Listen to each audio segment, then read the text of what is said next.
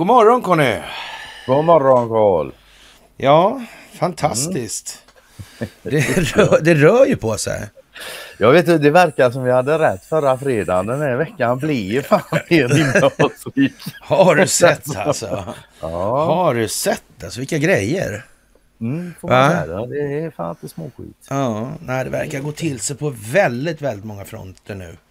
Det är liksom en konvergensens tidevarv. Jag tyckte jag kände det igår när jag, pratade med Anna där och, och ja, vi kom in lite på det här med samtal och eh, alltså kravet på ett naturligt ledarskap i förhållande till sina barn. Va? Det är ett, liksom ett absolut krav som människan som art har på sig. Så man kan liksom inte bara skita i det där rakt av överallt hela tiden. Det duger inte helt enkelt. Exakt, det är ju det som är det duger. Man kan ja. göra det. När det ja, det kan man göra. Det kan man göra. ja. Absolut alltså. Mm. Och, och, det jag tycker är mycket förtjänstfullt, det är ju de här diskussionerna som har uppstått i kölvattnet till alla de här kontroverserna som dyker upp. Och, och där vill jag faktiskt hålla fram då att när man bjuder in till samtal alltså för att mm. kommunicera sina tankar och känslor och upplevelser och kanske till och med de känslogrundande värderingar som har skapat de här känslorna och i, i den här upplevelsen. Då. Mm. då tycker jag nog att man bör anstränga sig lite från kanske möjligen lite fler håll. Va? Men några gör ett fantastiskt jobb och man kan faktiskt med blotta ögat bara se hur det här eh, går ihop och det, hur, hur det homogeniseras. Man vill egentligen i sak, eh, eller samma sak då, så här, i grunden. Mm. Den faktiska grunden. Det, gäller ja. bara att kommunicera sig dit då. Mm. Det, det är ju i praktiken ingen, egentligen ingen som vill någon annan illa på det sättet. Nej, och alla är hyfsat överens om att de vill ha ett fungerande samhälle. Ja. Många grundläggande saker är vi oerhört överens om. Allihop. Mm, och då handlar det mycket om eh, arbete, alltså kommunikation, ärlighet, uppriktighet alltså. Mm. I den delen. Absolut. Mm. Och den börjar med att man är så mot sig själv. Ja, annars lär det bli svårt. Man kan ju egentligen... Annars skevar det iväg. Ja, mm. så är det ju. Det får man nästan se som lite av... Ja, om inte ett axiom, axiom så är det en förutsättning jo. i alla fall alltså. Ja. Ändå tycker jag det är det det brister. Ja, det är naturligtvis så alltså. Och det är ju naturligtvis en återspegling av någonting också. Och, och det är ju, det här är ju inte någon sån där jättekomplicerad tankekedja och det bör man väl kunna reda ut för sig själv kan man tycka och när man väljer att ändå inte göra det. Ja, då är det väl mm. kanske möjligen vad det är. Men ja, i alla fall, jag, jag, ja, jag är i alla fall väldigt glad för att det har det går så här bra alltså. Det måste ja, jag ja, säga. Och, och, de flesta börjar ju förstå det här med att det här är någon form av riggad teater. Det här är någon form av iscensatt utvecklingsförlopp. Det handlar om att skapa en optik, en bild som människor utifrån sina tidigare erfarenheter och kunskap kan ta till sig och sätta in i ett sammanhang som får en betydelse. Ja, för kan man inte det så har det ja. ingen betydelse. Nej, det, det, är inte det är ju, det, nej, det, det är ju liksom det. Va? Ja. Det, det, det, får man faktiskt eh, säga. Och det här med polisstatens införande, den här nya lagen om chattar och så vidare. Mm. I USA har ju befolkningen till stora delar börjat förstå det här med att eh, ja, polisstatens införande, och det, det är jag inte så säker på att det behöver tydliggöras så där våldsamt mycket mer i Sverige. Vi, vi, det är väl ing, ingen egentligen som tror på att det här är någonting annat än vad det är. Och ja, det blir ju egentligen bara lite sådär mer konfirmerat när det dyker upp fler och fler saker så här. Mm. Och det tydliggörs i många olika sammanhang. Ja, en massa olika saker som vi kommer ta upp idag också. Så är det också. Ja, och eh, idag också innebär noga räknat den 22 i nionde 2023. Och kära vänner, det är fredag alltså. Det är inte nådigt vilka tillställningar alltså. Och på fredagar har vi alltid ett eh, fredagsmys.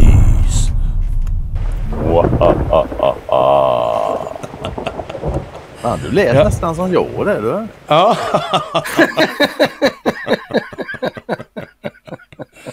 Jag såg en, någon sån här händig kille som har gjort en musikvideo som ligger på min tidslinje faktiskt. Och den avslutas just med ett sådär uh, monsterskratt. Alltså. Jag tycker det var lite kul alltså. Tjena alla monsterdiggare. Ja, ja precis. Alltså, det var väldigt Scooby-Dooiskt som jag såg det. Och eh, för att koppla på ett spännande ämne nu så blir vi lite mer jurassiska då, tyckte mm. jag. Dagens, eh, ja, så att säga, primalspaning. Va? Ja.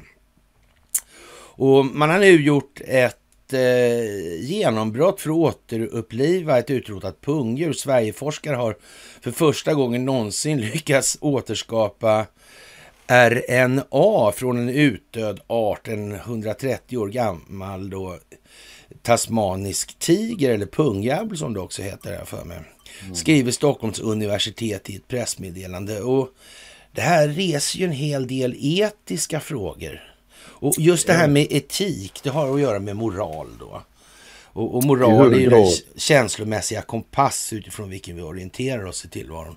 Och, och, frågan är, är det här bra? Har ni, ni, ni har kanske inte sett den här uh, Jurassic Kingdom heter man, den senaste. Och den kom, kom 18 alltså.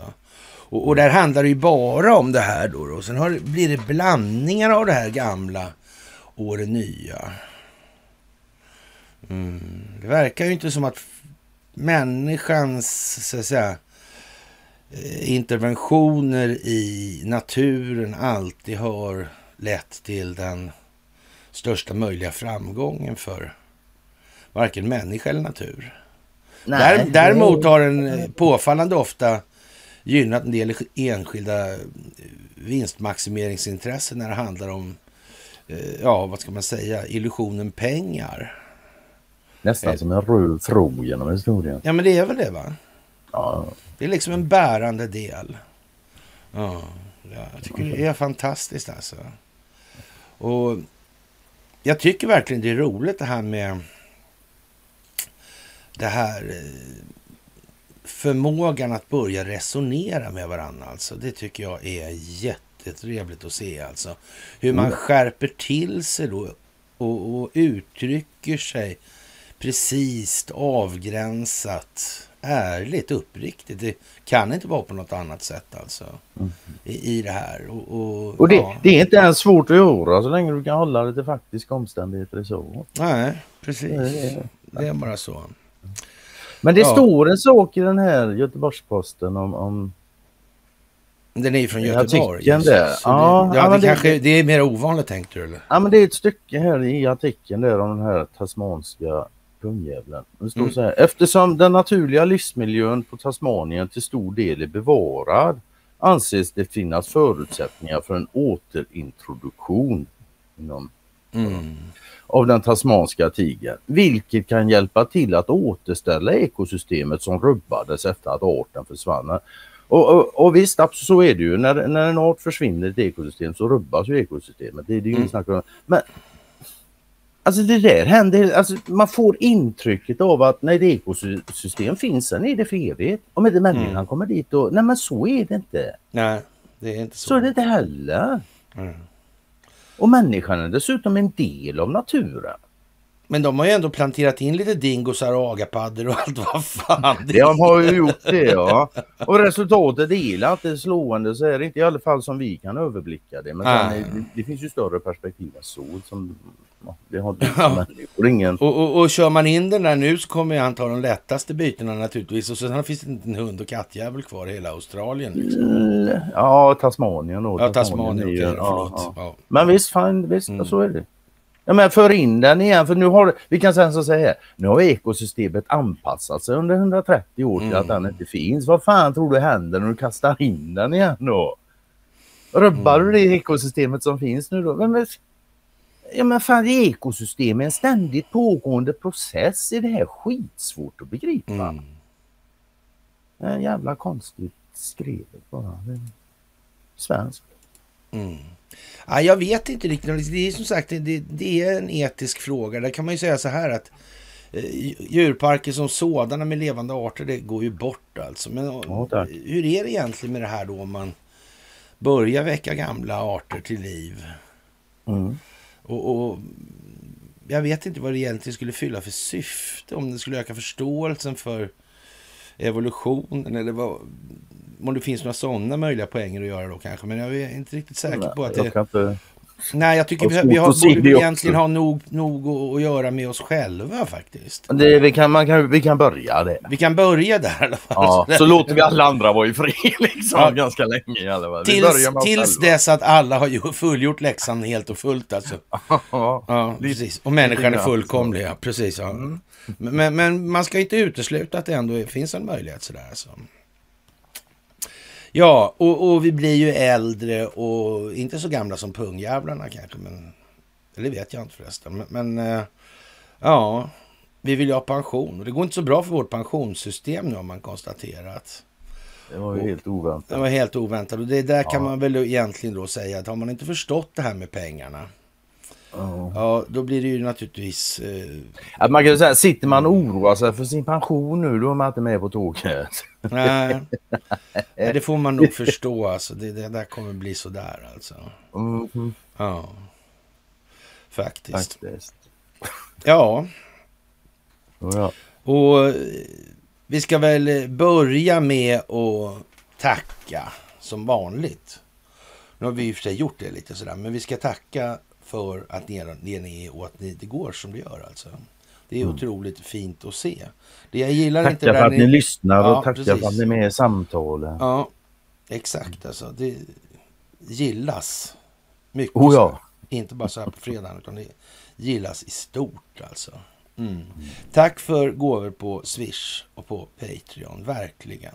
Och tack för att ni fördjupar er på karlnorberg.se och tack för att ni haka på Telegramtjänsten. Mm. Det blir ju en dynamik i den här rörelsen nu som inte har funnits tidigare och det är ju väldigt, väldigt bra alltså.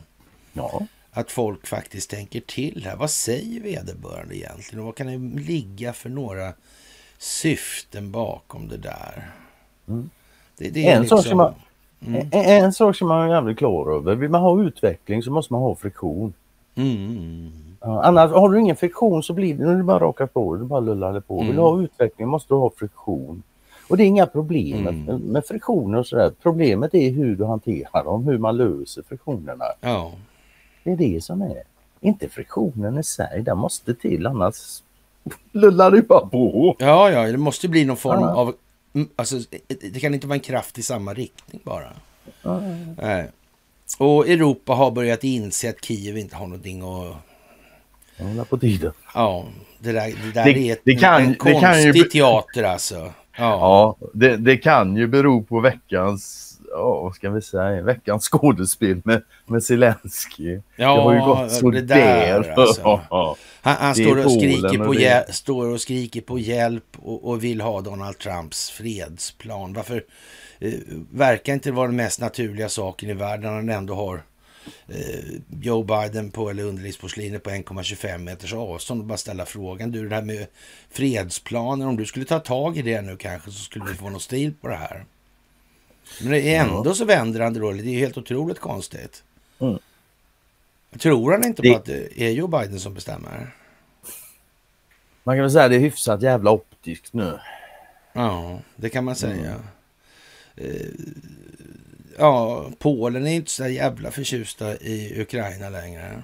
Nej, det gick fort. Det är rena hockey. Ja, eller hur? Alltså. Ja, för fan. Ja. Det håll i så svänger snabbt. Och, och något tal i USA blev det inte tal om MacArthur sa Ja, så tvär, blev det. Tvär, tvärnej alltså. Ja, nej, de var upptagna allihop i mm. senaten eller kongressen. Mm. Ja.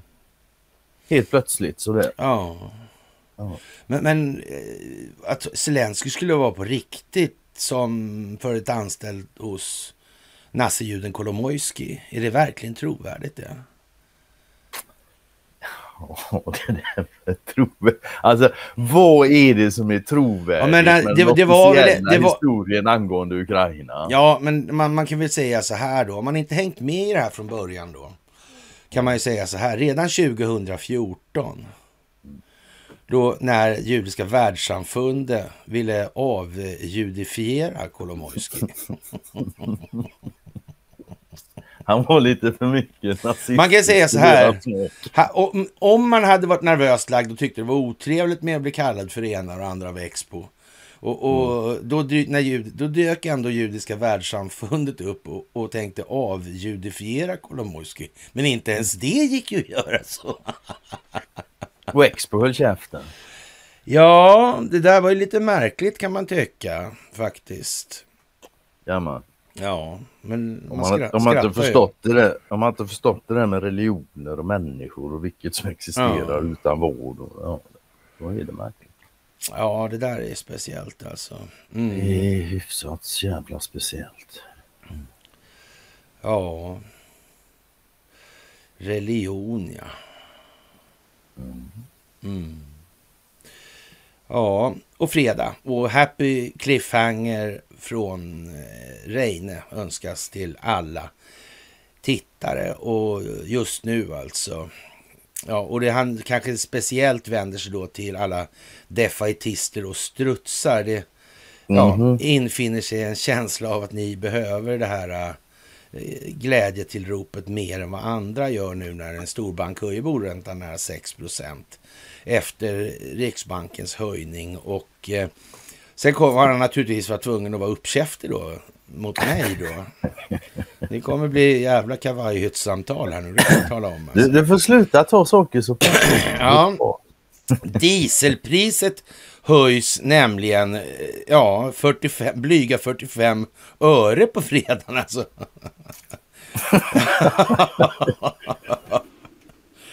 Det var en tråkig historia det. Ja, lite över 17 är det allt alltså. Kan man, kan jag, ja, med, jag ska hålla med om det alltså.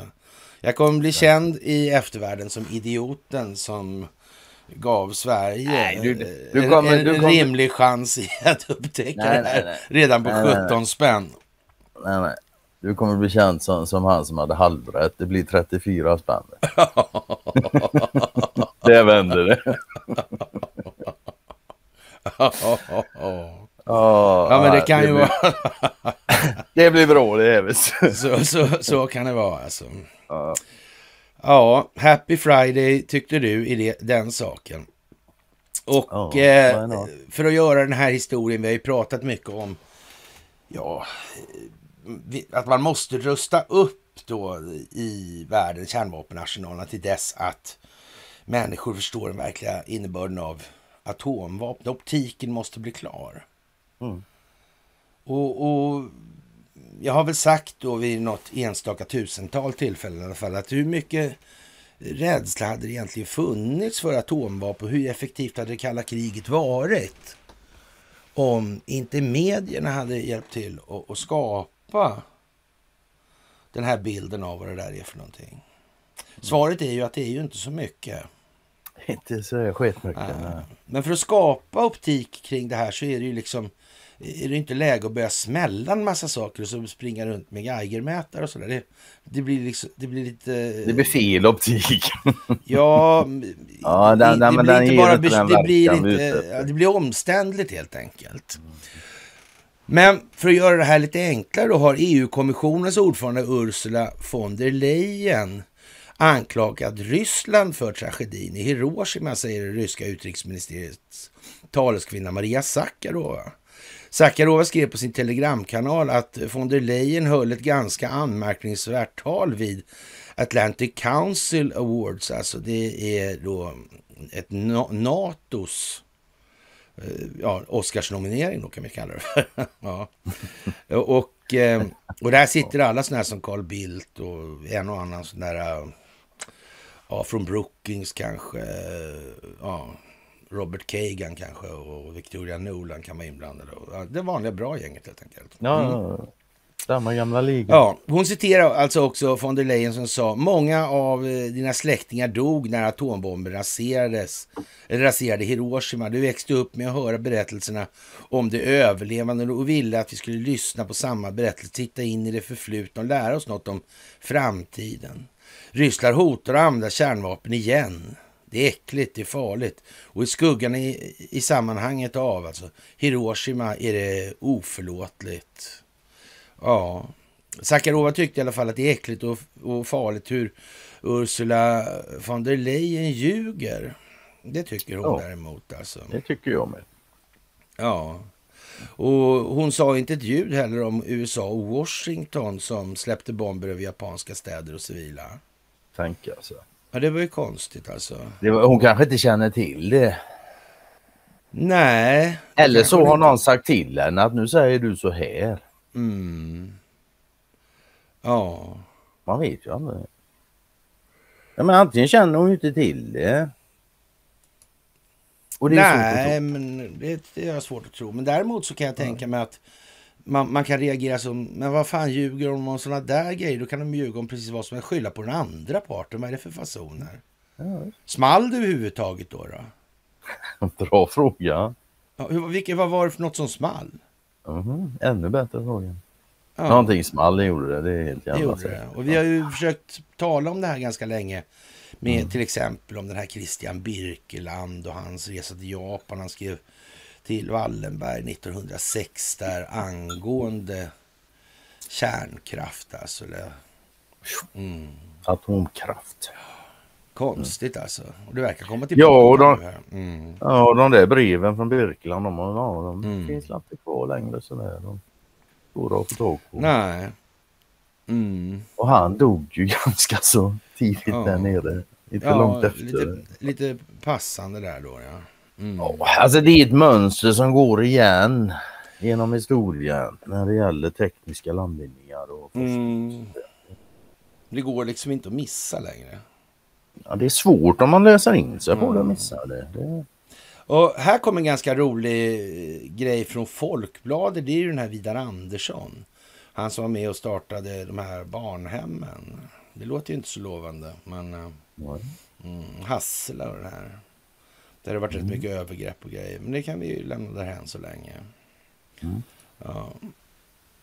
Och det drar naturligtvis ihop sig nu och optiken är faktiskt briljant i det här. Det är o, ett ovanligt mål alltså. Och, och, det här handlar om lånade ut miljoner till kompisarna och, och riskera fängelse för det. Mm. Och, och, det har bäring på en till artikel som kommer senare om hans majonnäs, Hans majonnäs honungen. Ja, och han har fingrarna i honungsburken ser det ut som där. Man vet ju inte. Mm. De är majonnäs på ja, fingrarna. Ja, precis. Alltså runt munnen kanske. Det ovanliga målet avhandlades under förra veckan i Norrköpings tingsrätt, vilket man ska ha eh, kännedom om då innebör tidigare då en, eh, i alla fall rådman Gideon Blomdahl och en hel del andra muntra typer som kanske inte gick för att vara de minst politiskt anstrukna i svenska rättshistorien. Jag har förstått att det har legat till så. Jag är ja. inte säker på att det gör det längre. Men... Nej, det vet ju inte vi. Nej. De skyltar gör nämligen inte reklam för den typen. Nej, men det är så nu. Mm. Såväl kammaråklagaren Cecilia Danielsson från Ekobrottsmyndigheten i Linköping som, försv som försvarsadvokaten Oskar Hillman medger att det rör sig om ett speciellt ärende som ingen med säkerhet kan sia om vad utgången blir. Eh, Dom meddelas den 27, meddelas den 27 september. Alltså. Åklagaren yrkar på två års fängelse och menar att den åtalade bedrivit näringsverksamhet med bokföringsplikt. Försvaret slår ifrån som menar att fallet inte ens borde ha nått rättssalen. Jag, jag har bara hjälpt mina polare med pengar och inte tjänat någonting på det här. Snarare har jag förlorat en hel del, säger den åtalade mannen som vill vara anonym i Folkbladet. Eh, några saker i åklagarsidan och försvaret överens om. Mannen har lånat ut mer än 11 miljoner kronor till sju vänner under tre år som åklagaren siktar in sig på och ligger som grund för åtalet. De stora summorna har Norrköpingsbon dragit in genom betting på olika spelsajter. Uppgifter som åklagarsidan bekräftar. Så där finns det ingen diskussion alltså. Eh, ja, åklagarsidan kanske inte om det tvättade pengar, det vet man ju inte riktigt. Men det spelar ingen roll alltså. Nej. Det här är vad det är nu. Brottsmisstanken gäller alltså grovt bokföringsbrott. Och någon bokföring i egentlig mening har aldrig funnits. Den misstänkte har inte bedrivit någon professionell näringsverksamhet. Men lånen till vännerna har ändå dokumenterats och signerats via handlingar som har upprättats mellan långivare och låntagare.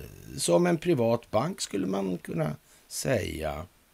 Eh, hur ska man som privatperson kunna veta att man inte får hjälpa sina kompisar? Jag tycker det är helt sjukt att jag åtalas för det, men jag vill tro att domaren är duktig och proffsig och att han har lyssnat på vad vi har sagt i rätten.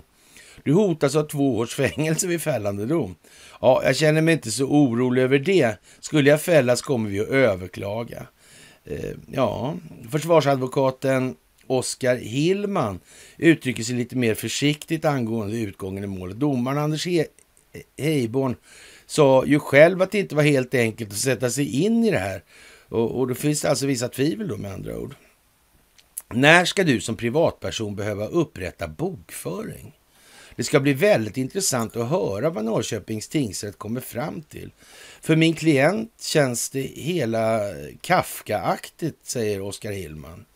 Ett lån sticker ut i mängd. Det handlar om 4 miljoner kronor som den åtalade lånade ut till bankränta till en vän som driver företag. Det kan ligga min klient i fatet, medger Hillman, men då det endast handlar om ett lån så kan det ju knappast räknas som näringsverksamhet. För Norrköpingsbon har den senaste tiden varit jobbig. Flera banker har kastat ut honom på grund av alla transaktionerna på mannens konton.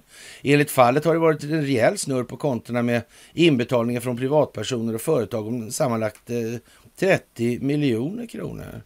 Eh, det har verkligen satt mig i klistret. Visst kan jag ångra att jag började låna ut pengar till mina vänner, men samtidigt vill jag hjälpa till när de har i knipa. Värst var det när sex poliser stormade in i vår villa för husrannsakan. De verkar tro att jag är värsta maffiakungen. Jag trodde först att de gått fel eller att någon hade dött. Eh, uppmärksamheten har också lett till att han eftertaxerats av Skatteverket. Jag har fått betala in nästan två miljoner av redan skattade pengar. Eh, ja, som är mina vinster. Eh, men det hoppas jag förstås att få tillbaka.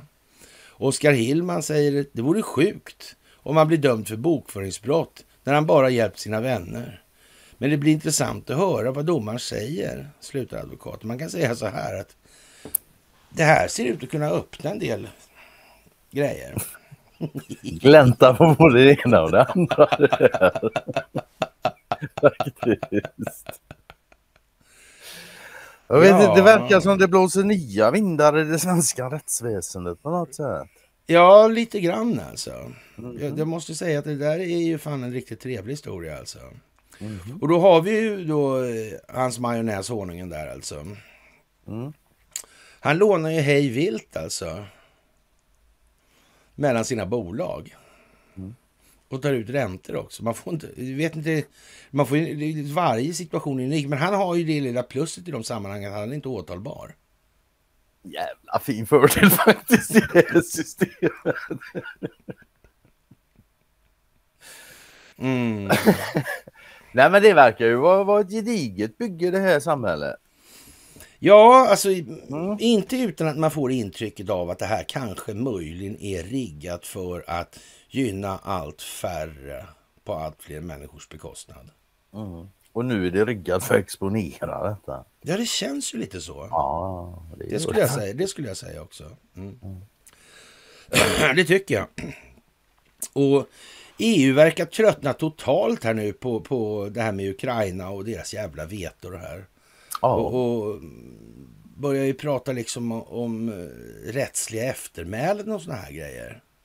Ja, så man kan väl säga den här veckan var veckan där det svängde från, till, från för Ukraina till mot Ukraina. Ja men eller hur alltså. Ja, det gick mm. på den här veckan. Och jag menar, vi ska ju inte glömma Stollenberg då som här i...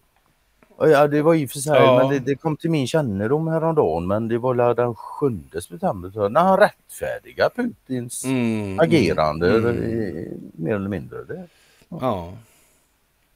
Mm. Och Ryssland har blivit mer aktivt i garnisonen som ligger nära gränsen till Finland. Kommenterar då den tidigare underrättelsechefen för den finska generalstaben Pekka Toveri.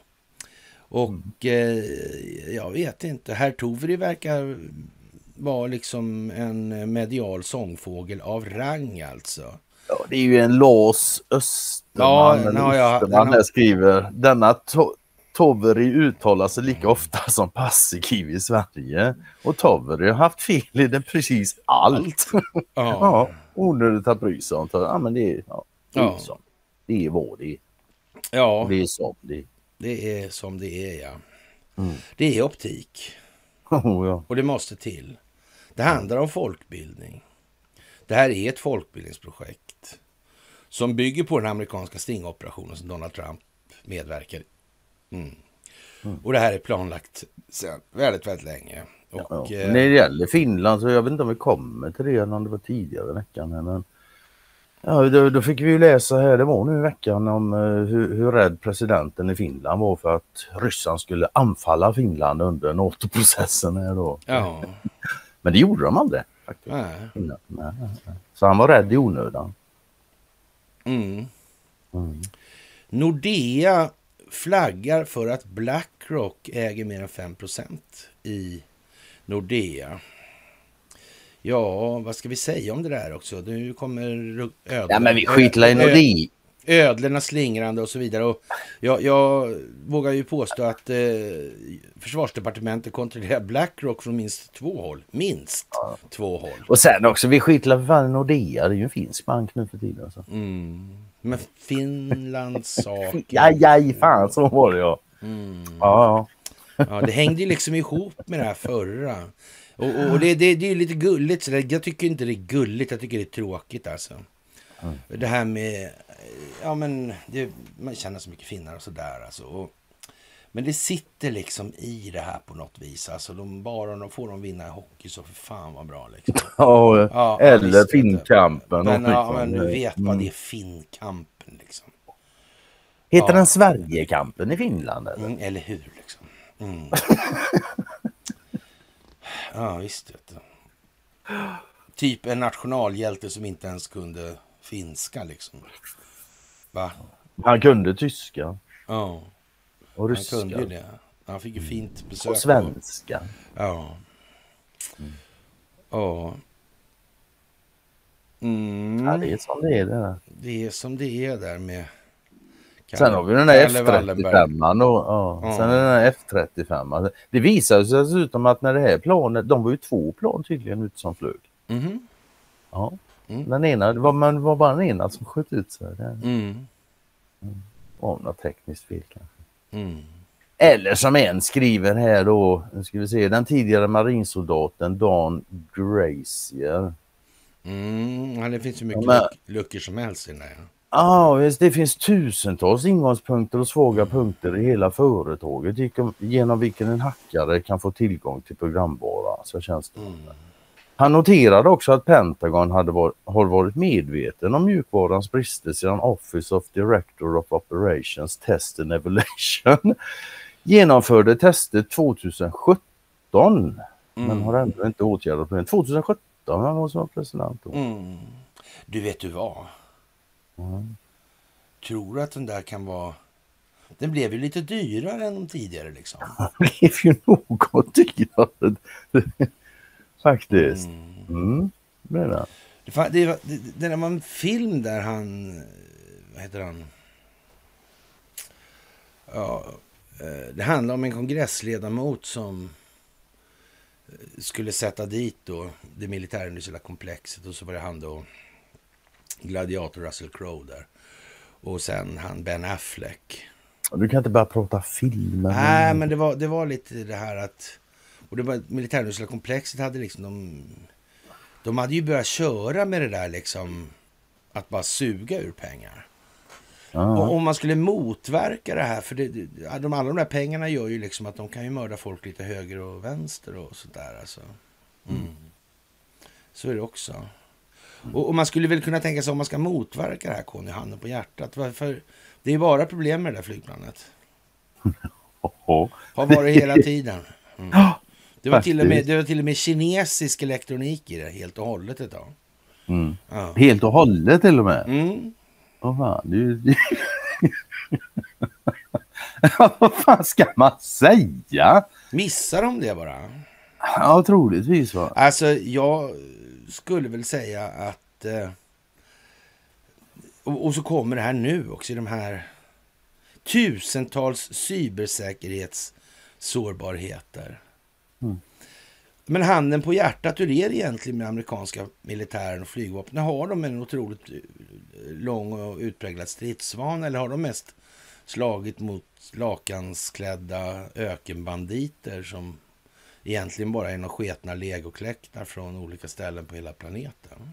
Det är ju synd att säga att de har haft krigsvana bara, eller att de har krigsvana bara Mm. för att de har gjort vad de har gjort här de Mm.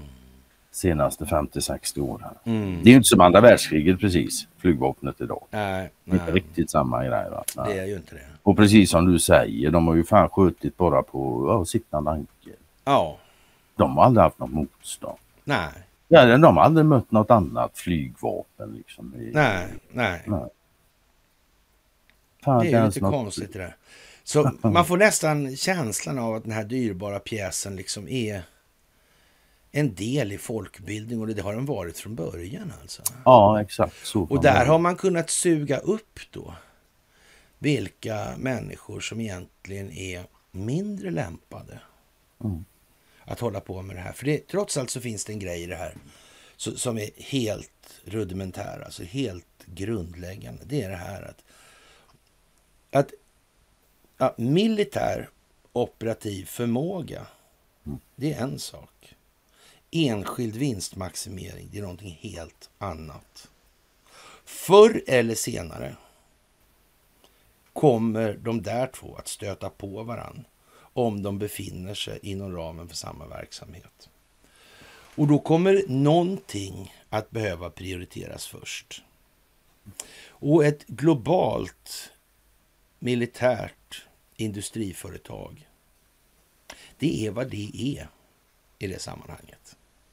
Så det. Mm. Och det lyder också under monetärmekanikens... Och, och jag skulle vilja påstå, jag tror på något vis att till och med Dwight D. Eisenhower förstod det. Det är nog inte helt 19, möjligt. va? 1961. Mm. Jag kan ha fel, men jag tror att det är så faktiskt. Mm.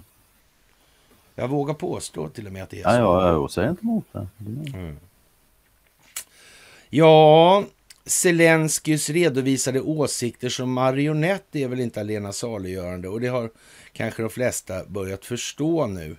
Och han välkomnades ju då varmt och hjärtligt kanske inte, men i alla fall till Vita huset. Han då. välkomnar. Ja, han blir inte utsparkad. Ja, Ja, ja. Det blir man. Men, men eh, Alltså han- när Dagens Nyheter får Ja, skriva en ja. artikel om att Zelensky hade behövt ett möte med Trump. Ja, det då- då har det är fan ju, hänt någonting. Då är det någonting som är allvarligt fel här. Alltså? Ja. Du, och, då går, och, och, och på bilden är han tillsammans med Joe Biden. Mhm. Känns Det är inte någon- det någon- någonstans någonting som har att hänt det, med Någonting har ju blivit lite tokigt här alltså. Duger inte Biden då eller?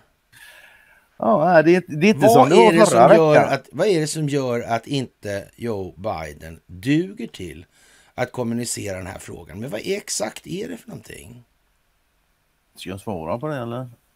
Nej, jag vet inte. Du kan väl eh, fundera lite och ge mig en, ge mig en bild. Jag, jag, förstår inte alls alltså. Jag tycker att det här är ju liksom... Har man inte förstått att det här är planerat nu, då, då vet inte jag när man ska förstå det. Det, det måste ju vara när man får skriftligt från amerikanska militären. Men det kommer man ju inte få förrän rättegångarna är klara, så att säga. Nej, det är ju det som blir det skriftliga. ja. Det blir ju Ja. rättegångarna. Alltså, Det Mm. blir ju kvittot på att... Ja. Men sen vad det gäller Biden, att han duger, det skulle ju kunna bero på att han har inget P framför sin titel. Liksom. Det, är, det är resident, det är inte president. Ja. Någon, har, någon har satt P för hans presidentskap. Ja. Ja, och han kanske är besviken nu, där Zelensky då, men eh, ja, han har nog anledning att vara lite orolig då, för, för eh, det är ju liksom eh, inte så varma vindar som blåser längre. Det börjar blåsa snålt alltså. Ja, ja alltså, jag tror han har varit beredd på det ganska länge. Mm.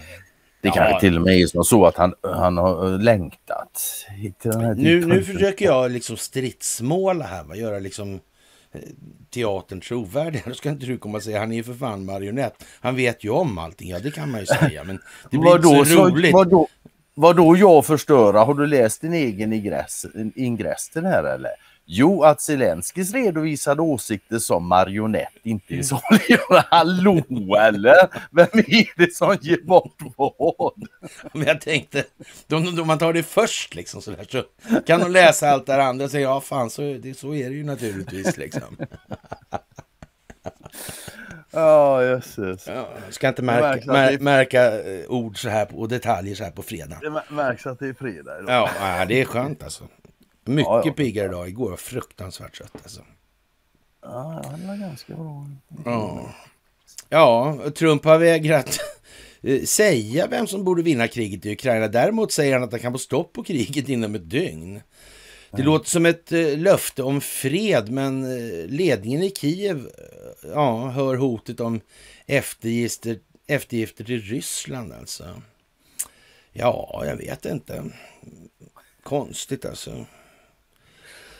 ja, ja, de hade mycket att göra. lite. De hade, hade mycket att göra, de hann inte det helt enkelt. Ja. Ja, så, Och Zelenskyj hade alltså behövt ett möte med Donald Trump, säger Dagens Nyheter. Ja, jag vet inte. Och, och han har försökt nå honom via medierna, CNN till exempel. Sådär. Ja. Och, och, och säger att eh, Trump borde presentera sin formel för fred alltså. Nej, Men, Ja, men han kan väl inte göra enkel. någonting och det, det, det väl bara sluta kriga. Ja, eh, dels det, men jag, jag tror dessutom så tror jag faktiskt att eh, Trumps formel för fred där inbegriper att Trump är president till början. Ja, han sa väl det va? Det tror jag. Ja. Det är kanske därför han säger att han löser det när han är president. Mm. Mm. Men vet inte, Zelenskyj miss, missar kanske. Ja, det kanske han gör. Ja, you never know. Men han verkar ju i alla fall hur som helst vara eh, rätt så inställd på att det här, ja, det är som det är. Jag Jo, han- jag tror- Ja, alltså jag, han har ju dragit ett jävla lass här nu i några år ändå. Mm. Det, det, det får man, jag tror han längtar efter lite lugn och ro. Det, ja, men det, det skulle tror jag kunna också, misstänka. Alltså. Ja, det Sen om man, är, om man är som gjord för att vila i frid, det återstår att se. Men det, det, är inte, jag. Ja. Det kan ju bli så officiellt. Och Jimmy Åkesson avgör kronans öde. Har du hört på maken alltså? Jimpan fixar biffen alltså. Helt plötsligt spelar varken räntenivån, löptiden eller det nominella beloppet på skulden någon roll. Jimmy fixar det där liksom. Jimmy döper om betalningsmedlet och sen försvinner allt. Ja, de här Allt faktiska dåligt, liksom. omständigheterna Ja. för funktionen. Allt, allt dåligt försvinner, Ja, bara, bara- bara, de bra grejerna kvar. Ja, nej, jag vet inte. Det. Nej, det kanske visst kan bli så. Mm. Man vet ju inte för man har provat. Ja, ja, jag vet inte. Det, det, är möjligt att det är 40-talisterna som läser Svenska Dagbladet som är anledning till att man måste hålla den här typen av Ja, intellektuell nivå på resonemangen. Alltså man får, man får verkligen situationsanpassa pedagogiken alltså. Det är helt säkert att Sverige lider av överskuldsättning, jättesäkert alltså. Den ackumulerade ränt- räntekostnaden käkar upp all likviditet. Då, då Men tänker lik, man då att... lik förbannat så skriver de alltså här i Svenska Dagbladet då att det här är politik, inte ekonomi. Nej men kör politik utan ekonomi då för helvete sluta förolämpa era läsare. Ja. Mm. Ja. Och sen kom det en liten fågel, förstår du. Ja. Och där sitter en massa sådana här äh, hjältar på en HA-balk ovanför Ja, jag saknar fan Daredevil ja. Ja, det är inte han med? Nej, det är han inte. Nej, Nej. han som sitter jämte Stålmannen det är nog Blixten jag. Ja, det tror jag också. Eller jag vet inte. Ja, Det ser ut så. han Ja, ja det, det, det, det har du rätt i faktiskt. Ja, Daredevil borde varit med. Men skit Ja. det är en svinbra bild. Ja, sådär. Ja. Och, och från den här bilden flög det ur en liten fågel och, och, och satte sig på min axel. Och, och, ja, började prata. Samtala. Samtal, vad är det speciella med samtal? Nanna heter fågeln. Eh, vad är det speciella med samtal? Under året ändrade myndigheterna i Sverige innehållet i direktiven för skolan. I ämnet svenska för grundskolan införde man samtalet i det centrala innehållet och kursmålen. Kanske är det dags för befolkningen att börja samtala. Kanske är befolkningen så otränad i den förmågan så man är tvungen att utbilda i det. Man kan ju fråga sig hur det kommer sig att befolkningen under historiens gång, under generationer, slutade att samtala. Varför slutade man? Lade samtalet på hyllan för en eventuellt kommande framtid. Lisa fångade tråden och tog upp den och tog upp samtalet med sina läro- lärarvänner. Några grundläggande frågor dök direkt upp. Så som vad ett samtal är och hur kan det avgränsas till andra typer av kommunikation människor emellan. Under tiden som diskussionen pågick fördjupades samtalet till att handla om aspekter som värdet av samtalet samt eventuella orsaker till att man mer eller mindre medvetet undviker det. Hur det än vände och vred på ämnet så stod en sak mycket klar. Samtalet är mycket viktigt. Det är centralt för oss människor och kanske fyller litteraturen en roll här. Eh, samtalet nedtecknat, läst, tänkt. Utan samtalet stå, står vi oss slätt. Vi blir väldigt isolerade, avskärmade från andra. Avskärmade från det mentala rummet som vi alla har gemensamt. Som vi är en naturlig del av. Och det är något mycket större än det instrumentella. Att med sina egna reflektioner vara sin del av samhället. Förstå att var och en av oss de facto är, utgör samhället. Samhället. Det vi håller tillsammans. Utan samtalet ställer vi oss utanför den mänskliga samhälleliga cirkel vi är en naturlig del av. Det som utgör ett vi. Kanske behöver ett öppet sinne och samtalet för att förstå vad, det, vad som sker i vårt samhälle. Kanske behövs alltså. Mm. Vad är då ett samtal? Vilka parametrar måste finnas för att det ens ska kunna kallas för ett samtal? Det måste finnas fler än en röst. Kanske är det möjligt att i en inre dialog föra ett samtal med sig själv där fler än en eller ett synfäst ges utrymme. Att tillsammans lösa ett problem. det, Kanske. Mm. Eh, Att eh, tillsammans lösa ett problem skulle man kanske tro att det är ett eh, samtal. I vissa fall är det nog det, men om problemet är, en relativ, är av en relativ art eller något man Reflektiv försö- art. reflektiv art, förlåt, ja. Eller, att man, eller något man försöker förstå. Mer konkreta problem av handhavande eller processtyp eh, känns inte som typiskt samtal. Samtalet förs horisontellt på samma plan där parterna bedöms som ja, likvärdiga. Kan man då föra ett samtal med en person till vilken man är i beroendeställning? När glider det över till att bli ett rådgivande samtal där man söker ledning från sin chef till exempel? Då? Eh, På samma sätt med en auktoritet, en expert såsom en hantverkare, en arkitekt, en läkare, en psykolog eller för all del en präst. Någon som har större sakkunskaper än man själv har. I ett vertikalt samtal klargör man läget under ledning av den större sakkunskapen, men visst kan man föra ett samtal med en expert.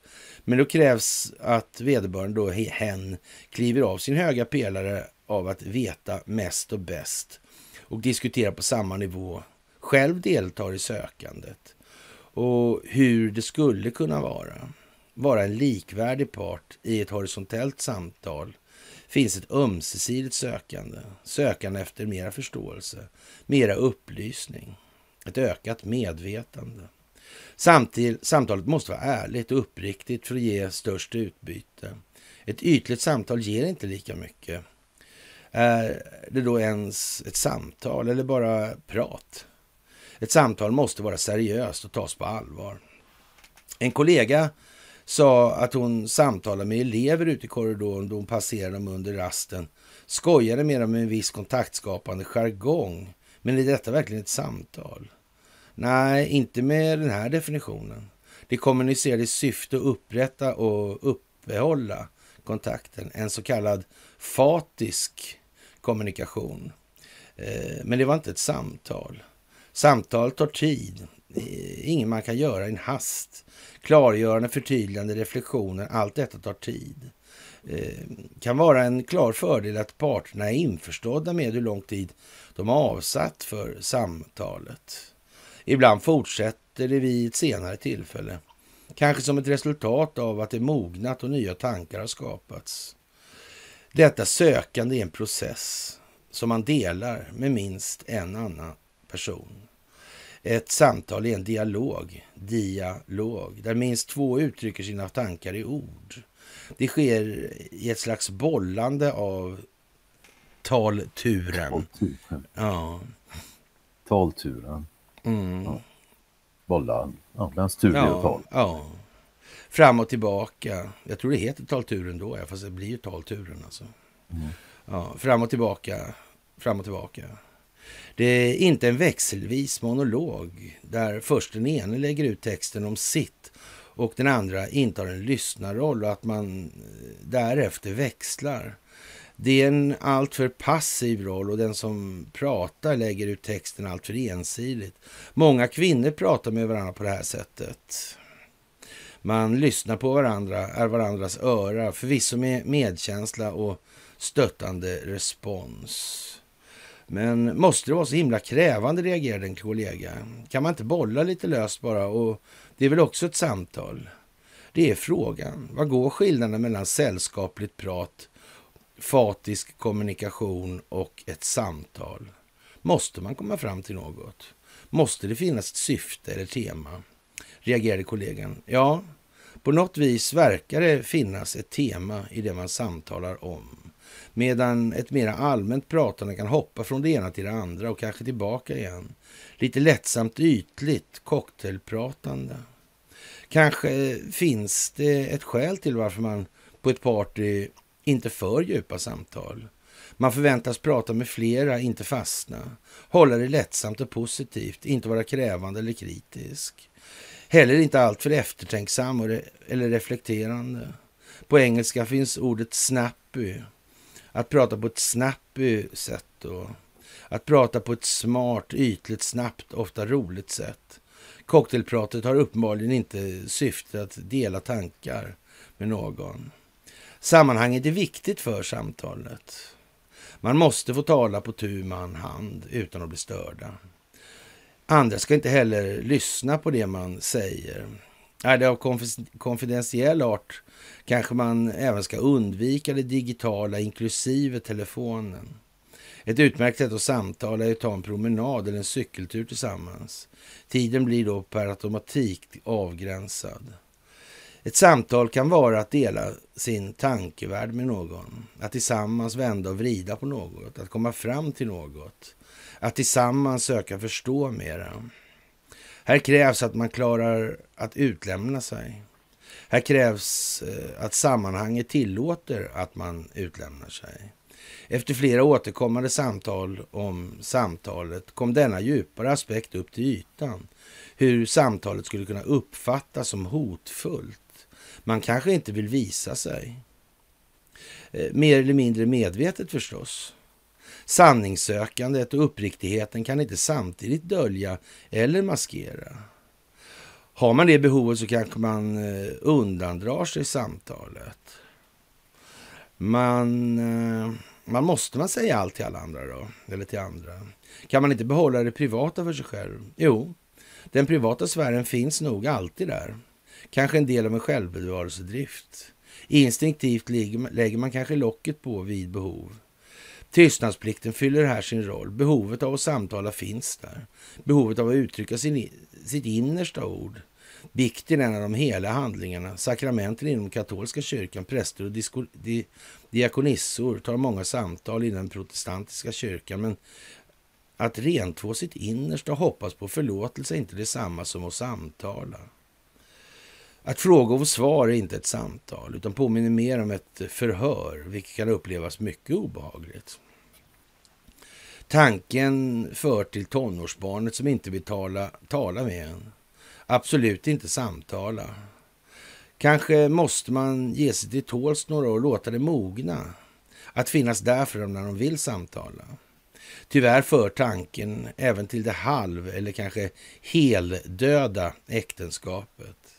Äktenskapet eller relationen som reduceras till ett förstelnat ja, kadaver utan levande innehåll. Att tvinga fram samtalet påminner mest om konstgjord andning. Kanske tilliten sträng har brustit. Kanske utbytet inte är så stort längre. Man får inget som man själv värdesätter tillbaka. Pusslet går inte ihop längre. Aldrig känner man sig så ensam som i ett äktenskap helt utan samtal. Därmed inte sagt att det kan kännas som eh, ja, en underbart fin upplevelse att i tystnadens gemenskap vara bredvid varandra. Den närhet man hade som förälskad, som kär och som partner i ett äktenskap kan tyvärr grumlas av besvikelser, av svek, av trista erfarenheter som förstör till tilliten till den andra. Men kanske till och med blir rädd för att bli förrådd eller rent av för repressalier. Tanken går till familjens middagsbord där inget naturligt samtal förs. Kanske det mera handlar om att med kontrollmetoder se till att ett visst ämne eller tema ska undvikas att väckas. Inget samtal om detta ska föras. Tanken går till arbetsplatsens fikabord där det är tabu att nämna elefanten i rummet. Med härskartekniker kan initiativ till samtal slås ner i sin linda. Ett avfärdande tystnar de flesta. Närhet till en annan människa kan uppnås som effekt av att man ömsesidigt är uppriktigt, uppriktiga, blottat sina tankar och känslor, varit äkta och sanningsenlig. Det krävs då mer än att den ena parten varit uppriktig. Samtalet kräver minst två parter, uppriktighet i känslan av sammanhang och gemenskap. Utan uppriktighet och utbyte av äkthet blir det isolering. En ö utan anknytning till andra, en ensamhet. Vi är sociala varelser, vi behöver varandra. Kanske krävs det ett visst mod att släppa in en annan människa i ens tankevärld. Rädslan att bli avvisad är stor, att inte bli accepterad för den man är. Men priset för isolering är högt. Nära vänner spelar en mycket stor roll. Finns kvar efter skilsmässan eller efter jobbytet. Det finns kvar oavsett ebb och flod i ekonomin. Oavsett livets årstider. Vänskapspusslet avgör vad man kan samtala med. Vad man kan samtala med var och en om. Kanske man har vissa favoritämnen ihop. Med en vän kan man samtala om något som kanske är omöjligt att samtala om med en annan. Ungefär som gemensamma aktiviteter. Man får ställa in rätt förväntan vad som kan levereras i just den relationen och utifrån situation och dagsläge på ett inkännande sätt finkalibrera och finjustera förvä sin förväntan. Samtalet har en finstämd kvalitet. Någonting, något känsligt och gott. Det drar sig snabbt undan om det känner sig hotat. Det kräver trygghet och förtroende. Samtalet är oerhört värdefullt. Det ger en människa känslan av gemenskap med andra. Att betyda något för andra, att ha ett egenvärde. Samtalet ger en ökad förståelse för det vi har runt omkring oss och det vi alla är en del av. Där vår egen tankevärld kontrasteras och berikas med andras. Samtalet är något vi behöver.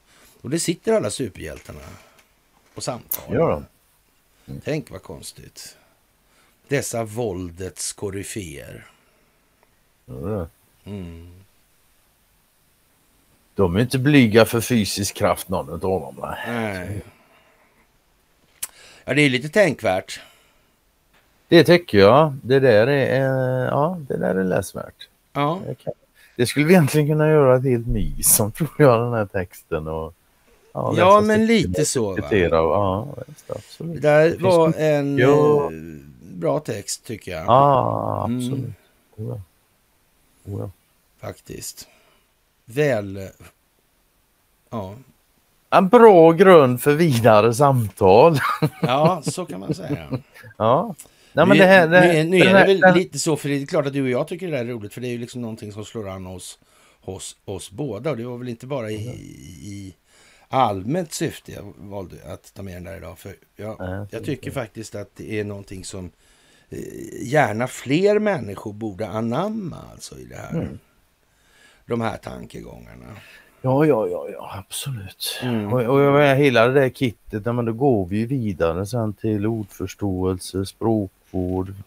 Ja, språkbehandling. ja, som jag sa, vi, vi, vi, ja, fan, vi kanske sätta oss i helgen och göra ett avsnitt om den här. Utbyta ja. lite tankar om bara den. Men vi... Ja, till exempel. Eller så kanske de, fan, folk kanske, det hade varit en bra idé. Folk kunde, de kör ju en del grejer på det här vad heter det, på, på, på gamla Twitter, Space. Aha. Ja. ja. Det är några stycken kan, kan köra ett Space om, på den här artikeln med den här artikeln som grund. Ja, jag vet ju några som är Ja, så att säga skulle fungera. Hur som helst, jag tycker det är väldigt bra. Men det är ett oerhört viktigt ämne anser jag överlag. Alltså. Mm, jo, det är så är det ju.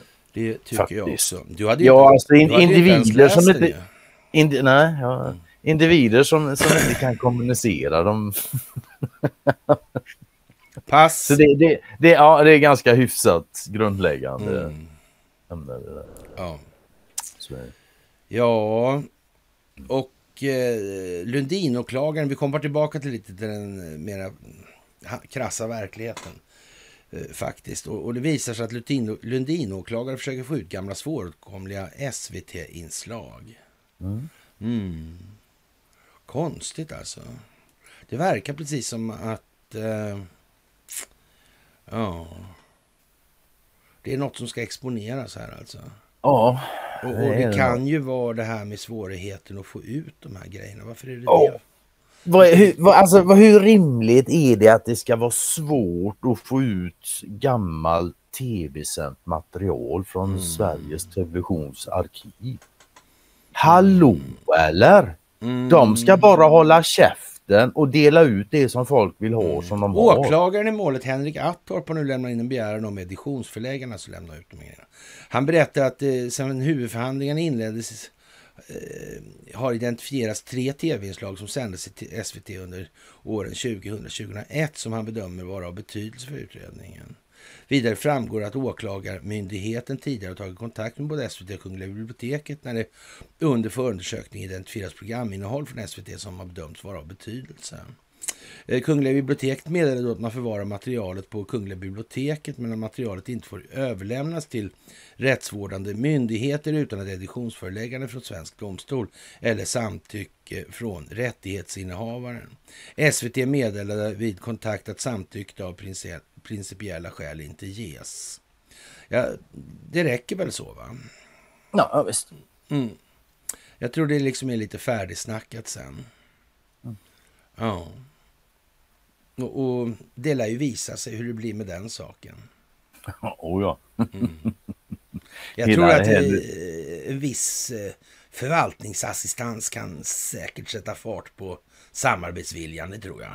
Det kan nog hjälpa till. Man kan säga hela det här Lundin, ja, men är det någonting som är riggat för att exponera saker och ting så hej Lundinmålet. mm, precis. Det... Sen, sen, finns det någon sån här halvdeprimerande historia av Andreas Cervenka då och, och, med allmänt banksvammel då som är... är... Ja, jag, har, jag har ett ord till det. Tråkigt. Ja. Ja. Ja, precis. Alltså det, det där ja. är... Ja. Det. Ja, och det, det, här går, det här går nu ut på att... Nu, nu ska man mäta alltså. Hur mycket fattar folk i det här egentligen? Mm. Hur mycket är de kapabla att ta till sig? Hur mycket förstår de av det här att det här systemet är helt jävla kört? Eller tänker de krypa in i den här jävla bankprosan igen då? Och se om det kanske inte är så där som de börjar ana att det är. Det är mätningar nu hela tiden. Ja. Hela, hela tiden. Kan jag kan ja. också tänka mig att faktiskt den svenska befolkningen är hyfsat central när det kommer till det här med montermekaniken mm. eftersom vi faktiskt är det enda landet så vitt jag vet som har människor som pratar om det överhuvudtaget. Mm, mm, mm, mm. jag, jag vet inga andra som gör det. Nej. Det är skuldmättnad och... och Nej. Ja.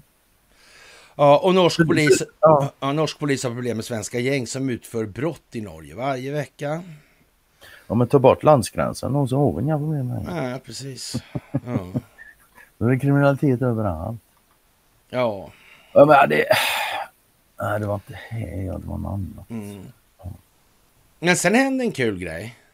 Mm. Faktiskt. Ja. Metangasläcka upptäckt i Östersjön. Alltså. Det bubblar ja. intensivt alltså. Och landsortsdjupet. Landsortsdjupet, det står inte det i, i tidningen. Alltså. Det har jag lagt, jag har lagt dit det. För det, det, är vad som ligger där alltså. Ja, visst. Ja, det var naturligtvis, det kommer de aldrig på. Så det, det är bäst jag lägger dit det. Ja, hur som helst. Landsortsdjupet är Östersjöns djupaste punkt. Djupet är uppmätt till cirka 458 meter beroende på vattenstånd och ligger sydost om Nynäshamn, 22 kilometer sydost om Landsort. Landsortsdjupet är en eh, förkastning och fanns mer än en miljard år före själva Östersjön. Förmodligen har den alltså släppt ut metangas förr då, om man säger så. så. Det är inte omöjligt. Nej. Ett och, och, sen kommer artikeltexten så här. Då. Ett omfattande läckage av den kraftfulla växthusgasen metan har upptäckts i ja, djupa delar av Östersjön. Redan här måste man nästan känna då att det här med metangas, eller vä vänta nu förresten, kanske det här med växthusgaser och växthuseffekter kanske är något, det där verkar konstigt alltså. Ja, ja. Upptäcks djupa delar av Östersjön ett par mil utanför Nynäshamn. Läckaget finns på 400 meters djup och är ett hittills okänt fenomen i Östersjön. Och eftersom det inte finns så där exakt många 400 meters djupställen i Östersjön så kan ja. man säga att eftersom det här ändå handlar om 400 eh, meter så, och dessutom i närheten av Nynäshamn så föranleder det mig att misstänka att det kan vara någonstans i närheten av landsortsdjupet i alla fall. Mm. Om det sen inte är exakt 458 eller 426 liksom, men give or take liksom. Mm. Ja, och forskarna misstänker att en del av metanet tar sig ut i atmosfären, men det behövs flera mätningar för att klarlägga det. Utsläpp av metan ger en mångdubbelt större klimatpåverkan än koldioxid, men troligen är effekten av just det här utsläppet begränsat eftersom det rör sig om eh, ett mindre område. Ja, annars brukar det ju populärt säga att det ligger mycket båtar eh, på botten här vid landsortsdjupet. Man kan väl säga så, så om, om du vill bli av med saker och ting, vad I Östersjön ja. istället och sänka det på då eller? Mm, mm, mm. Tar du det grundaste istället? Ja. Ja. Då frågan. Ja. Faktiskt alltså. Mm. Mm. Ja, jag vet inte. Det där är lite udda faktiskt. Ja, det kan man säga. Mm. Det kan man Det är ja, dels både det här med klimatet och det ja, verkar konstigt. Och sen också det här att som sagt var om du vill dumpa någonting i Östersjön som du inte vill att andra ska hitta. Ja. ja jag hade valt det djupaste stället. Ja men typ alltså. Ja, det, mm. det hade jag. Jag är inte mer komplicerad än så. Nej. Sen är det, är det en fräck människa här, Thomas Stjernqvist heter han. Utgivaren för att heta mm. i alla fall. Han, han, skriver att det är ju inte bara Karl, Norberg som har copyright på folkbildning. Vad menar Karl alltså? Det är det mm. väl? Ja, och upp, upprop för att rädda folkbildningen. Stoppa regeringens nedskärningar av studieförbunden. Jag trodde det här med studieförbunden var eh, liksom någon verksamhet som behövde gås igenom rätt ordentligt i alla fall. Va? Jag la, jag la in som kommentar där en länk till din blogg där sökordet var just studieförbund. Och det blev några träffar och eh, Ja, allihop ja. hade korruption med rubriken också. typ. Ja, ja jag Så, vet inte. mm. Men med det sagt, alltså, ja visst. eh, Ja, folkbildning måste till. Så är det. Och jag har Ja. inget emot, ja visst, jag har liksom ett studieförbund, så absolut. Så här, men som det används och har använts i det här Så systemet. ska det så nog bara inte så. fortsätta med. Nej, det ska inte fortsätta som det har varit. Nej, här skrivs inte på någonting för att rädda någon jävla Ja. folkbildning som har varit i det här systemet. Inte för Ja. mig. det. Och Skanska ska bygga ett stort akutsjukhus med sju våningar i Florida. Kontraktet är värt en halv miljard eh, kronor. Och, och byggbolaget Skanska tecknade avtal i, också i juni om att uppföra en byggnad för kontor och forskning åt fastighetsbolaget Vectura som ägs av Investors helägda dotterbolag Patricia Industries. Nu tror inte jag man ska börja se de här eh, nya affärerna som någonting negativt. Jag har en Jo, negativt för Waldemar. Ja, det kan man säga. Ja, Alltså. ja. Ja, Men nej. så håller Men å andra sidan så vet ju inte vi heller, det ska vi också ärliga och säga. Så här, vi, vi vet ju inte hur länge de har varit under tvång så att säga. Och, och det kan ju Ingen vara, i princip så skulle det ju kunna vara ja, hur lång tid som helst alltså i princip. Inte, ja, inte hela, hela förbi världskrig och sådär kanske, men, men, eh, eller Kennedy kanske, men i modern tid skulle man ju kunna tänka sig att det har liksom ställts en del trista ultimatum. Ja, man, alltså jag kan mycket väl tänka mig att den nu levande generationen Wallenberg som sitter på topp, den äldsta då. Att De- de, kanske har varit kopplade hela sina liv. Ja, Det är inte omöjligt. De är bara några år äldre än vad vi är. ja, De är hela 50-talister och sådana. ja 50, mitten på 55. där. Ja, de är 10 år äldre än vad- du och jag är. Ja, det där är lite speciellt alltså. Ja, det är Men- hyfsat men, jävla Men, speciellt. eh, ja, som sagt, det är klart man... Vi får se. och pappa rånar banken så är det inte bara att ge bort pengarna till sonen och, och, och sen är allt frid och fröjd. Liksom. Så Nej. går det inte att göra. Jag har faktiskt polare, hans brorsa rånade posten en gång i Göteborg. Så här, som en, ja, och min polare sa till honom sen då, fan du skulle ju svängt förbi mig naturligtvis och lämnat av det. han. Men det hade ju inte hjälpt alltså. Det hade det inte. Nej. Och det, ja, det är ju länge sedan, så här, det var på den tiden det fanns postkontor och de, de gick och rånade överhuvudtaget. Mm. Det är ju inte på den här sidan 2000-talet. Ja. Men eh, som sagt, det är de större perspektiven som gäller i de här betraktelserna nu alltså. Mm. Mm. Och avrustning och demilitarisering med andra ord. Alltså. Ja. Försvarsministern bekräftar att ukrainska piloter har utbildats på JAS. Och, och, och det är väl ingenting att diskutera om. Alltså. Nej, tycker jag inte. Problemet är att vi måste ha så mycket att det inte går att etablera en våldspotential som är större inom den ramen som ska utgöra det här landet eller vad det nu blir för någonting. Det här ser ju liksom lite halv... Ja, det där är en bra brasklapp. Vad det nu blir för någonting av det här alltså. Det är ingen jävel som vet. Ja, ja, ja. Eller ja, det finns nog de som vet vad de har tänkt. Men vi får se. Ja. Men eh, det blir ju i alla fall bättre än vad det är. Va? Så det, ja. det är det ju liksom ingen snack om. För annars blir det bara stök av allting och det är det ingen som är bekänt av. Nej. Nej, Faktiskt. Så. sådär. Å andra sidan så finns det ju inte, inte exakt så vi har sådär mycket att välja på heller. Nej, valen är hyfsat begränsade. Det får man nog fan utgå Mm. ifrån. Det kommer nog göras klart vad det lider också. Så. Ja, det känns ju som att det Mm. har nog redan gjorts så också. Jo, jo, men jag menar mer allmänt. Ja. Ja. Och det är inte så att vi har brist på ämnen idag alltså. Nej, nej. Som Ja. sagt var, var en hyfsat innehållsrik vecka är med. Mm. Amorteringskrav, då ska man undersöka. Bankerna vill alltså inte ha någon amortering, då får de mindre ränteintäkter. Ja, Ja, det är ju som Leonard skriver här när han delar denna. Nu måste man läsa mellan raderna. Mm. Vill bankerna ha amortering? Nej, de vill ha skuldslavar. Mm. Med andra ord, de vill inte att man dödar skulden. Amor Nej. dö amortera skulden. Det Ja. är döda skulden. mm. Det vill de inte. ja, De ha skuldslavar. Okända hot mot kungafamiljen. Säkerhetsläget höjts i hela landet och det som tvingas leva med hot varje dag är våra kungligheter då alltså.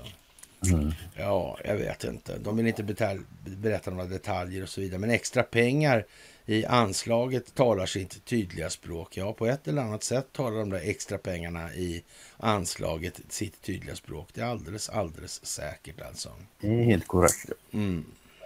Faktiskt, det är det. Jaha, och, och, och, kritik mot det svenska stödet. Vi kan ge enormt mycket, men jag vet inte riktigt om det är värt att prata om det där så mycket mer. nej, man kan bara... Nej, det är liksom bara optiken. Jag, jag kan mm. inte klaga på optiken. Svenska folket jublar säkert, men det, det var lite intressant här faktiskt. Vi är ju lite dåliga där tycker Billström då med vår Ukraina-support. Så står, det så, ja, så står det så här. Sverige hamnar då på plats 14 i förhållande, ja, I förhållande till BNP, i topp på listan ligger Litauen, Estland, Norge, Danmark och Lettland. Och det enda jag har så här, det låter som Wallenbergland Eller? Ja, alltså det vill inte vara så alltså, men... men jo, det ja, ja, ja, ja, jag, jag, håller, jag håller med. Försök inte göra det bättre än vad du är.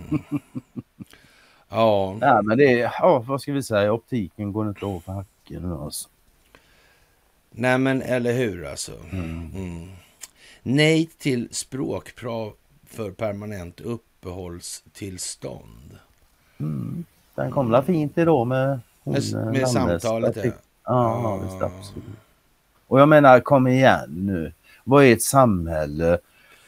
Utan om, samtal. Om, om, Ja, om, dess befolkning, om dess befolkning inte kan prata med varandra.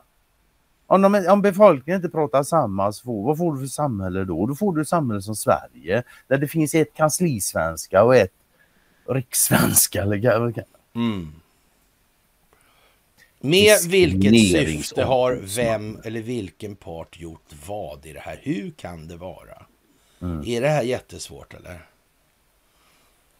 Ja, om man inte vet något och inte tittar in på det. Men så fort man gör det så mm. nej, då är det fan inte skitsvårt. Jag tycker nej. det. Ja, men jag kommer ihåg en idag för ett gäng år sedan när du började bubbla om språkvård och Erik Wilander. Jag har aldrig tänkt på det innan. Man tog reda på det. Fan, man kände bara small i skallen på en. Mm. Och bara det faktum att du aldrig hört talas om Erik Wilander trots att man som 60-talist har varit fruktansvärt utsatt för hans jävla reformer och inte ens kan namnet på ja, talas om han innan. Vilken oj, jävla oj, oj, sinnessjuk konstruktion alltså. Ja, det har ju funnits en hel del sådana här Ja, ja, ja. Han, är, han är ju inte ens... Han har ju nej, varit nej, nej, nej, jag, jag har aldrig hört han blivit ifrågasatt av någon annan än dig ja, och mig. Ja, Mer eller mindre. Det där är helt otroligt alltså. Ja, det där är fan makalöst. Det, det, har, det har nog pågått en Jag har varit med ett själv, nämligen sådana skolprojekt, alltså sådana här... Mm. Ja, exper, experimentgrejer alltså sådär så att... Eh, ja. Mm. Där... Ja, där har det fan experimenterat och mätts och vägts och... Ja, ja, ja, ja, uh. ja, ja, ja, ja. Där kan vi snacka om kognitiv formatering, mm. sociala ingenjörskonster och... Liksom, ja. ja, visst. Ja. Mm. Ja, jag vet inte faktiskt. Det där är... Ja, men på tal om ord och sånt här så var kungen här igen ju. ja. Hans fiende. Ja, det var la förra veckan tror jag. Aha. Då läste jag, ja, då läste jag citat från kungen. Han tyckte det fanns obehagliga ord. Jaha, ja. det också. Vet, vet, du, ja, vet du ett ord som han tyckte var obehagligt? Vilket ord det var? Makt. Det tyckte, Jaha, det, tyckte, ja, ja. det tyckte kungen var ett obehagligt ord. Ja, ja. ja vi har ju ett par kungarartiklar kvar faktiskt. Sådär. Och, och, helt otroligt. Det är för att vi är så royalistiska. Ja. ja, det där med att ha ett kungahus alltså, som utgör någon slags jävla säljavdelning för Investorkopplade bolag. Alltså det, ja. det är ju någonting som man inte tar upp alla dagar i veckan i, i medierna. Ska, ska du, har du tänkt läsa hela den Är den där jävla lång också? Ja, ja. Nej, det tänker jag skita i om du vill. Nej, alltså jag tänkte gå och pinka i så fall. För nu är jag bra jävla pinke nu. Ja, men gör det du. Jag kan väl traggla på lite här och sådär. Traggla lite så går jag och pinkar. Ja, i alla fall så konungsmannen han, han, han tycker ju det här är, är, fina fisken va. Och, och sen har hans bolagshyss här nu, eventuella hyss då, det, det får vi väl se vad det blir med det där då. Men hur som helst, 50 år sedan då fyllde han år då. Eller tillträdde han i alla fall och, som svensk kung och statschef. Och, och det firades då med ja, hurra, skjut och blås och höga knäuppdragningar och hela skiten. Alltså. Och, och festligt, folkligt och fullsatt då. Mm. Och han är, eh, monarken är respekterad och populär, alltså. Den konstitutionella monarkin är i stort sett eh, en välfungerande del av vårt samhällssystem. Ja, det kan man ju säga. att Det är en välfungerande del av vårt samhällssystem som bara är skit och nu kollapsar. Och då kanske vän av ordning skulle undra, men ska vi verkligen ha det här kvar egentligen? Nej, det ska vi naturligtvis inte ha. Men frågan är hur fort ska det här gå och, och så vidare. Det finns ju en och annan 40-talist. Jag tittade i Sundsvalls tidning igår och, och fem frå eller, frågade fem personer om ja, vad de tyckte om monarkin. Och då, de var väl då i, kanske upp till 40-talister då, eller ner till 40-talister och, och 50-talister kanske. Där. Och de, hade ju, de här damerna hade ju läst eh, Svensk Damtidning så de var små alltså. Och de tyckte det var jättebra alltså. Det var jättebra. För samhället. Mm. Allt det här bakom, liksom, vad det här egentligen är för någonting, vad det har varit, vilken roll det har fyllt och så vidare. Nej, ingenting, inte en susning. Så även om vi har kommit långt då till exempel i det här med monetärmekaniken och det här. För det är en del som också har med kungen för vi är ju egentligen en penningmonarki då. Va? Vi är ju ingen republik, alltså vi är en penningmonarki. Där kungen präglade mynt en gång i tiden. Och Ja, och, Karl den 16 Gustav alltså har dessutom verkat både hyggligt, bekväm och tillfreds med allting. Och det, det är klart, det blir alla arga på det då. Och som sagt, respekterad och populär. Mm, för vad liksom? Ja, det beror ju på hur mycket man förstår av det här såklart alltså. Och, och ja, stora och mindre händelser kopplade till den svenska monarkin följer så länge en sedan länge fastställd liturgi. Entusiasterna är entusiastiska och majoriteten nickar i huvudsak uppskattande och republikanerna gnisslar tänder. Och, och, det här är ju en lång drapa som egentligen inte innehåller någonting utan är mer liksom, de kommer ju mäta klick på den här och se var, var står vi någonstans. Och där är det ju liksom så här att eh, en annan vanlig klagan på eh, Parnassen är att medierna uppträder underdånigt för kungen och kungahuset. Detta tema är gammalt och finner inte sällan sin styrka i det av Sveriges kändaste republikan Vilhelm Mobergs argumentation, ska det väl stå, men skitsamma. Ja, eh, därför är i Därför är republikan från 55 framför Moberg tre argument för republik där det tredje och för honom viktigaste är vad monarkin gör med medborgarna. I en monarki uppkommer alltid en anda av undersåtlighet som, är, eller som icke är fria medborgare värdig. Kring konungen med Guds nåd och hans anförvanter har i alla tider uppblommat en rik flora av servilitet och inställsamhet, Fan, kryperi och all, all, allsköns fjäsk. Ja, alltså man får väl säga, har man inte fattat att det är det som det där är till för? Jag menar, om konungsmannen då skulle stå på egna meriter fysiskt eller intellektuellt, då är jag säker på att eh, det skulle vara något glesare befolkat vid hovet. För att uttrycka mig lite ja. återhållsamt alltså. Ja, men det, det, det är ju som jätteenkelt alltså hur, den här överhetsskyggheten vi har. Jag brukar, jag brukade förr om åren ta den här liknelsen liksom med statsministern och Göran Persson. Men om, jag kan ta mig själv och, och, och Göran Persson och så tar, är det 500 man stående på fotbollsplan. Ja, och, och, ja, så får vi väl gå ut där. Det är helt nya förutsättningar allting och så vidare. Och, och, nu gäller det liksom vem som drar ihop folk för att göra någonting hit och dit. Mm. mm.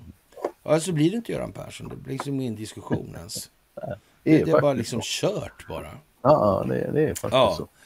Och sen, sen också, nej men just när, när det gäller liksom kungligheter så är det någon som på allvar tror att hela det här systemet med kungar och sånt är infört för att det ska råda jämlikhet. Nej men alltså det är tror, ju jättekonstigt. Är, är, det, är det någon som att man ens behöver skriva liksom att, att, att, att, kungar per automatik innebär underdånighet? Mot, ja, de är regenter. underståtar har de då alltså. Undersåtar, ja. Ja, undersåtar. Ja. Mm. Jo men alltså, vad, vad, det här, den här diskussionen vi hade om samtalet där som vi läste upp. Ja. Alltså, ja. Vilken roll spelar kungen i, i, i, det? I samtalet ja. I, i samtalet? Vad vad är hans roll? En, en, en människa som du enligt etiketten måste tilltala med Ers Majestät. Hur mycket kan du samtala med en sån?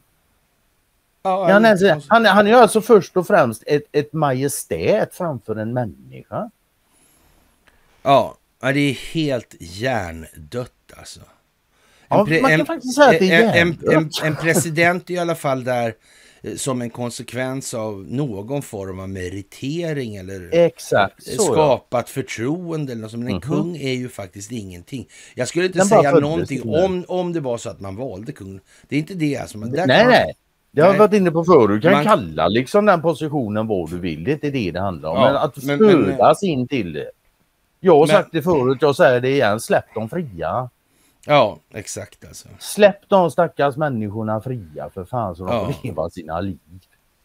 Ja, Fjättrade i, i gyllene bojor. Mm.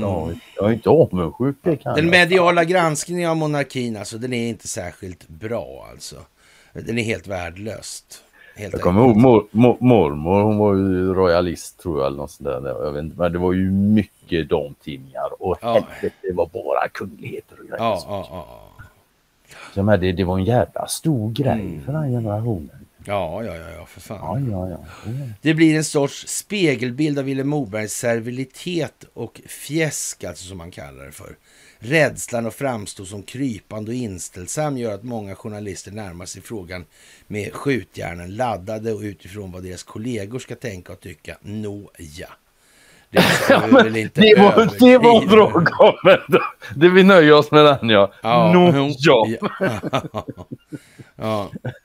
Precis. Det, det är det är ingenting som man tycker är störande så att det förekommer så ofta alltså. Ja, jag har aldrig upplevt det så i nej. alla fall. Men så kommer avslutningen här och granska kungen, skoja om kungen. Efter 50 år råder det ingen brist på material. Skärskåda hur monarkin fungerar i praktiken. Men framförallt försök ha lite finess och en ambition att berätta om något annat än de egna förträffliga och högblanka principerna. Få saker är nämligen så förlamande och ointressanta. Ja, det är på ledarsidan också. Och det kan jag hålla med om. Ska vi prata om kungen tycker jag vi ska prata om eh, monetär monarki. Mm, till exempel. Principen om det där med att födas in i bestämmande positioner. Ja, jag vet Det- inte. Nej. Men men en sak man kan konstatera att uh, vår kära Carl Gustaf här han har ju firat 50 år på tronen för en vecka sedan. Ja. Mm. Och fan vad skit han har fått. Ja. Ja. alltså, jag, jag, jag, det här med, det har varit mycket täckning på kungen och, men det har inte varit något Mm. positivt någonstans. Nej, nej. Och, och, och det är det jag liksom är inne på nu. Försök nu att förstå att det här är ju liksom ett folkbildningsprojekt och de här tid, svenska tidningarna de är med i det här folkbildningsprojektet. Ja. Antingen de som författar de här artiklarna begriper eller inte. Och, och, och är det, det, är liksom, det, här, det kommer bara ut exakt vad som ska komma ut nu, precis som det gör i USA. Det närmar sig exakt. Nu förstår man i USA att det är polisstaten på gång. Va? Här har vi liksom aldrig haft något annat på det viset. Där vi, hade vi tusen avlyssningsstationer 1931.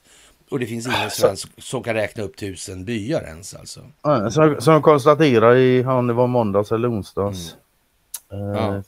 De där som pratar hos Cornelia på engelska. De Mm. konstaterar att nej vi behövde inga covid-idioti nedstängningar i det här landet. Nej. För här är det bara så att det är folk så gör de så. Ja. Och här, här kommer någonting väldigt roligt nu faktiskt. Eh, Boris Johnson sa att andra världskriget vanns av väst och Ukraina. Mm. Och, och det här, nu, nu, är det, nu är det dags att tänka till lite här. Då. Ja. Det angloamerikanska avtalet var hans bedrift och, och det var därför västvärlden vann andra världskriget med sina allierade förresten med ukrainsk hjälp. Johnson är en ljus personifiering av moderna europeiska politiker, människor i de högsta maktskikten med ganska tvivelaktiga intellektuella förmågor. Och nu är det så i hela Europa. Man behöver bara titta på tyska politiker som Baerbock och eh, som föreslog att Vladimir Putin skulle vända sin politik 360 grader. Eller en annan inte särskilt begåvad Habeck med sitt vi måste minska vår produktion eller helt och hållet minska den. Eh, detta kommer att leda till gasbesparingar.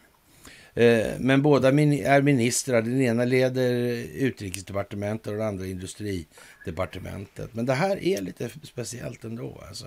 Ja, ja. Det här är inte vem som helst. Det är Boris Johnson. Ja, killen som faktiskt vet hur man spelar för att vinna. Ja, killen som kan recitera Iliaden och Odysséen. På grekiska. På grekiska, ja. Undrar om man vet vem som översatte Iliaden och Odysseen till svenska. Jag tror han vet det och inte nog med det. Jag tror han talar om det för Erdogan också. För Men det tror jag också faktiskt. Så vet du vad jag tror mer? Mm. Det Ottomanska riket hade han en släkting då, en farfar. Det tror inte jag. Det vet jag att jag har läst. Att han har... Ja. Han var journalist. Ja. Wow. Han var från England också. Mm. Men han var turk också. Mm. Undrar om han visste någonting om Ottomanska riket. Undrar om han visste något om en, en, en svensk som inte var svensk utan turk. Som blev turk? Gustav, ja, Gustav Oskar Wallenberg. Undrar om, undra om Boris Johnson känner till någonting om Delin Devlet som Erdogan säger fanns långt innan kemalisterna dök upp där runt 20. Det finns ju bara ett sätt att få reda på detta och det är ju fråga Boris själv. Mm, jag tror han berättar det för oss nu. Det gör han, jag om vi han ja. ja, men jag tror han berättar det ja. i eh, metaforer. Ja, att han, ja, ja, ja, Men det hade varit trevligt att ha ett direktsamtal med honom faktiskt. Mm. Då kan man säga så här. Om vi nu ska komma tillbaka till hur länge har de motverkat det här? Mm. Han blev ju mördad den här farfaren. Det blev han. Mm. Djupa staten fanns ju kvar i alla fall. Mycket mer än farfar fanns. Mm. Mm. Men nej, ja, farfar finns ju kvar fast i form av Boris Johnson. jo. liv är liv. Mm. Senast mm. 1931 så då är vi inte så långt borta. Det är 11 år sådär bara. Eller rättare sagt, det, det är ju åtta år om man tänker på freden i Lausanne då. Ja. Uh, 1923. Ja, och sen är det åtta år kvar till... Men där, där kan man säga så här efter första världskriget, då lär inte de som motverkar den djupa staten ha haft mycket att säga till så, nej, nej, det har de, nej. Nej det, nej, det kan de inte ha haft. Man, man, man, de här världskrigen är ju ett verk av djupa staten. De är mm, mm. väldigt planerade. Och man hade alltså tillräckligt med muskler kvar efter första världskriget för att i princip direkt då 23 vid ölhallskuppen där mm. försöka börja ställa an det andra. Mm. Ja. Och det är klart de hade för de, ja, när de planade det första så planade den andra också. Mm. Det är ju bara att kika på freden i Versailles. Mm. Det... Ja, ja, ja, ja. Så det, det, det finns ingen diskussion alltså. Nej, det tycker jag inte. Nej, det gör det inte. Så det där var lite festligt tyckte jag när jag såg det där. Ja. Det är, det är nästan alltid lite festligt när Boris kommer in på ja. planen. Och sen kommer den här, den här äh, länken med den här Fronda dina nyheter och det är liksom en, en raphistoria det där. Men det är, det är monsterskratt på slutet på den, det var det värt. Det, som jag sa från början, jag sa från början här alltså.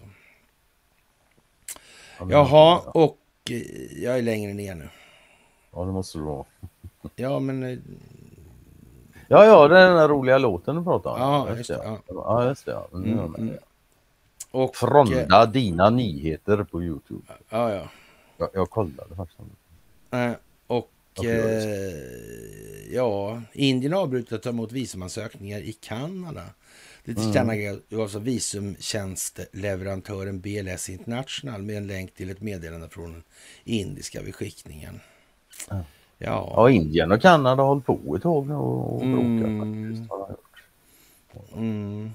Och jag vet inte, Indien är, ja, det är inte läge att bli ovän med Indien just nu faktiskt. Nej. Det Det finns bättre länder. att Fan vad sugen jag blev på indisk mat nu helt plötsligt. Alltså. Se där ja. Ja, faktiskt. Då får du äta det sen. Det är ju fredag. Fredagsmys. Ja, precis ja. Mm. Mm. det blir älgkött igen alltså. ja, Ja. börjar växa ut horn på mig snart alltså. Ja, det är konstigt att Ja. inte ha gjort det tidigare. Jaha, du, men du tog upp det där med att eh, Ninisse var orolig för det där med det, det man kom där, alltså fina saker vårdar. Det var den du tänkte på? Ja, just det. Ja, ja, ja. just det. Mm. Ja, Och, och tre, tre fjärdedelar av amerikanerna tror att nationen blir en polisstat nu. Och det, då, då är det så att de hajade. Och sen kommer ju Mats Rimdal av alla jävlar. Alltså. Ja, Tänkte, men helvete alltså. Det kom Då kan man säga att det är mycket som kan komma upp i, i luften. Jag jobbade då på någonting som heter Bas och rekrytskolan, Bergalaskolan då. Och, och det var i, ba, i ba, basbataljonen på den tiden. Ga- ja, i, I övergången från då invasionsförsvar till ja, vad du nu vad man ska kalla det där för sen. Ja, och, och, och Rim, Rimdal, han jobbade också där lite tidigare då. Men, och, och alla officerare där de jobbade extra på och körde så här värdetransporter. Det är samma värdetransportföretag som han rånade då. då. Så, där, så det var ju rena jävla lekstugan alltihopa. Det var ju så jävla dumt så det liknade ingenting. Vanlig svensk standard eller? Ja, ja, ja, ja, ja fast Ja, ja, visst, historisk svensk ja. standard kanske vi ska säga. Och, och, och det var inte utan att man... Och, de, och polisen tränar ju då skytte då på Berga Öroskolor. Så man, man fick vara skjutinstruktör åt poliser och sådär. Liksom, ja, ja, vissa av oss fick ju det. ja, Inte alla. Nej, men sådär alltså. Ja, Jag fick inte det, det kan jag säga. Jävla dumt alltså alltihopa liksom. Och där var rim. Ja, alltså, ja, och ingen kände någon annan liksom. Man bara, vad fan liksom. Mm. Ja. Och, och ja, jag vet inte. Bröderna Sumonja där sköt nedhållande eld i Ösmo med kulspruta liksom mot polisen. Det var, ja, men det var fan lekstuga på den tiden alltså. Det var inte någonting ordentligt alls. Alltså. Sen var ju hon, eh, vad heter hon? Gunron, heter hon så? Nej, det heter Majron hette hon. Ihop med Tony, hon var ihop med Tony, hon var militär också, var ihop med Tony Olsson där. Vet du. Alltså, var, Var han med Alexander Tony? ja, visst alltså. Det här landet är fan helt makalöst ju. ja, Men man kan, Ja. man kan säga en sak i alla fall om den här Mats Rindahl. Han är 66 år nu. Han har ju fan haft eh, en kriminell bana i 30-40 år. Han Ja. vet en hel del. ja, ja, Så är det. Han har varit med länge. ja. Nu åker han när han transporterar några kilo amfetamin i bilen. ja. Och för säkerhets skull så hittar de hemma hos honom också. Ja, ja. Och i samma jävla rondell som han torskade för 37 år sedan. för säkerhets jävla skull ja. Så brottar de Ja, ner han just ja, i den ja, rondellen. Där han gjorde det- ett värdetransportråd. Är- är Jag tror dessutom det var Är det den där jävla Rockstar-rondellen det där? Var det det? Det är ju ett gäng rondeller där ut mot. Hässelby till alltså. Skulle inte förvåna om det är samma. Jag vet ju någon annan som sköt Annie Fitzpatrick där så, så ja. Det jävla rondellkör det där alltså. Det är en rondell i Enskede. Nej just det, just det, det var söder, det var söder om stan, stämmer ja, precis. Okej. Ja. Ja, jo, jävlar. A- anna- annars kan man säga så här, då, det saknas inte gemensamma nämnare med det jag pratar om nu. Det, sådär alltså. Men det var inte samma rondell i alla fall, det hade ju varit jävligt snyggt alltså. Ja, men det var ändå en rondell som Men det där kom... kommer vi helt säkert föra mer Vi kommer höra mer om det och Ja, det där är fönster som öppnas på glänt. Ja, nu ska ja. fan veta om inte hela dörrkarmar och skit ja, ja fan. livet. Ja, in kommer en får se. gripklo och sliter bort väggjäveln liksom. Lite grann så. Ja. Jaha. En sån rivningskula farande. Ja. Eh, käre Niklas har snakemårat sig.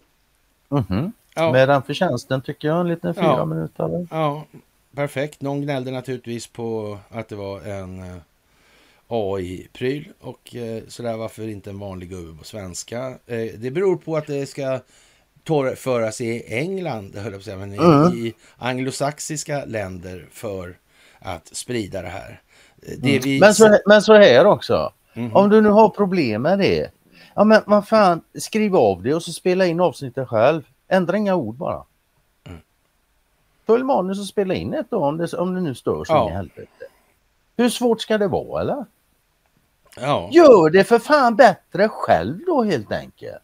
ja det är kanske väl- eh, en variant på hur man kan hantera det också. Det är, det. Det är inte den vanligaste varianten dock. Nej, det kan man inte säga. Det kan man inte säga. Nej. Ja. Det. Ja, Men på tal om att göra själv då så var du igång med Anna igår ja. Ni hade Ja. Jag Ja. måste erkänna att jag tyvärr inte lyssnar på det än. Jag ska försöka. svikar där, svikar där.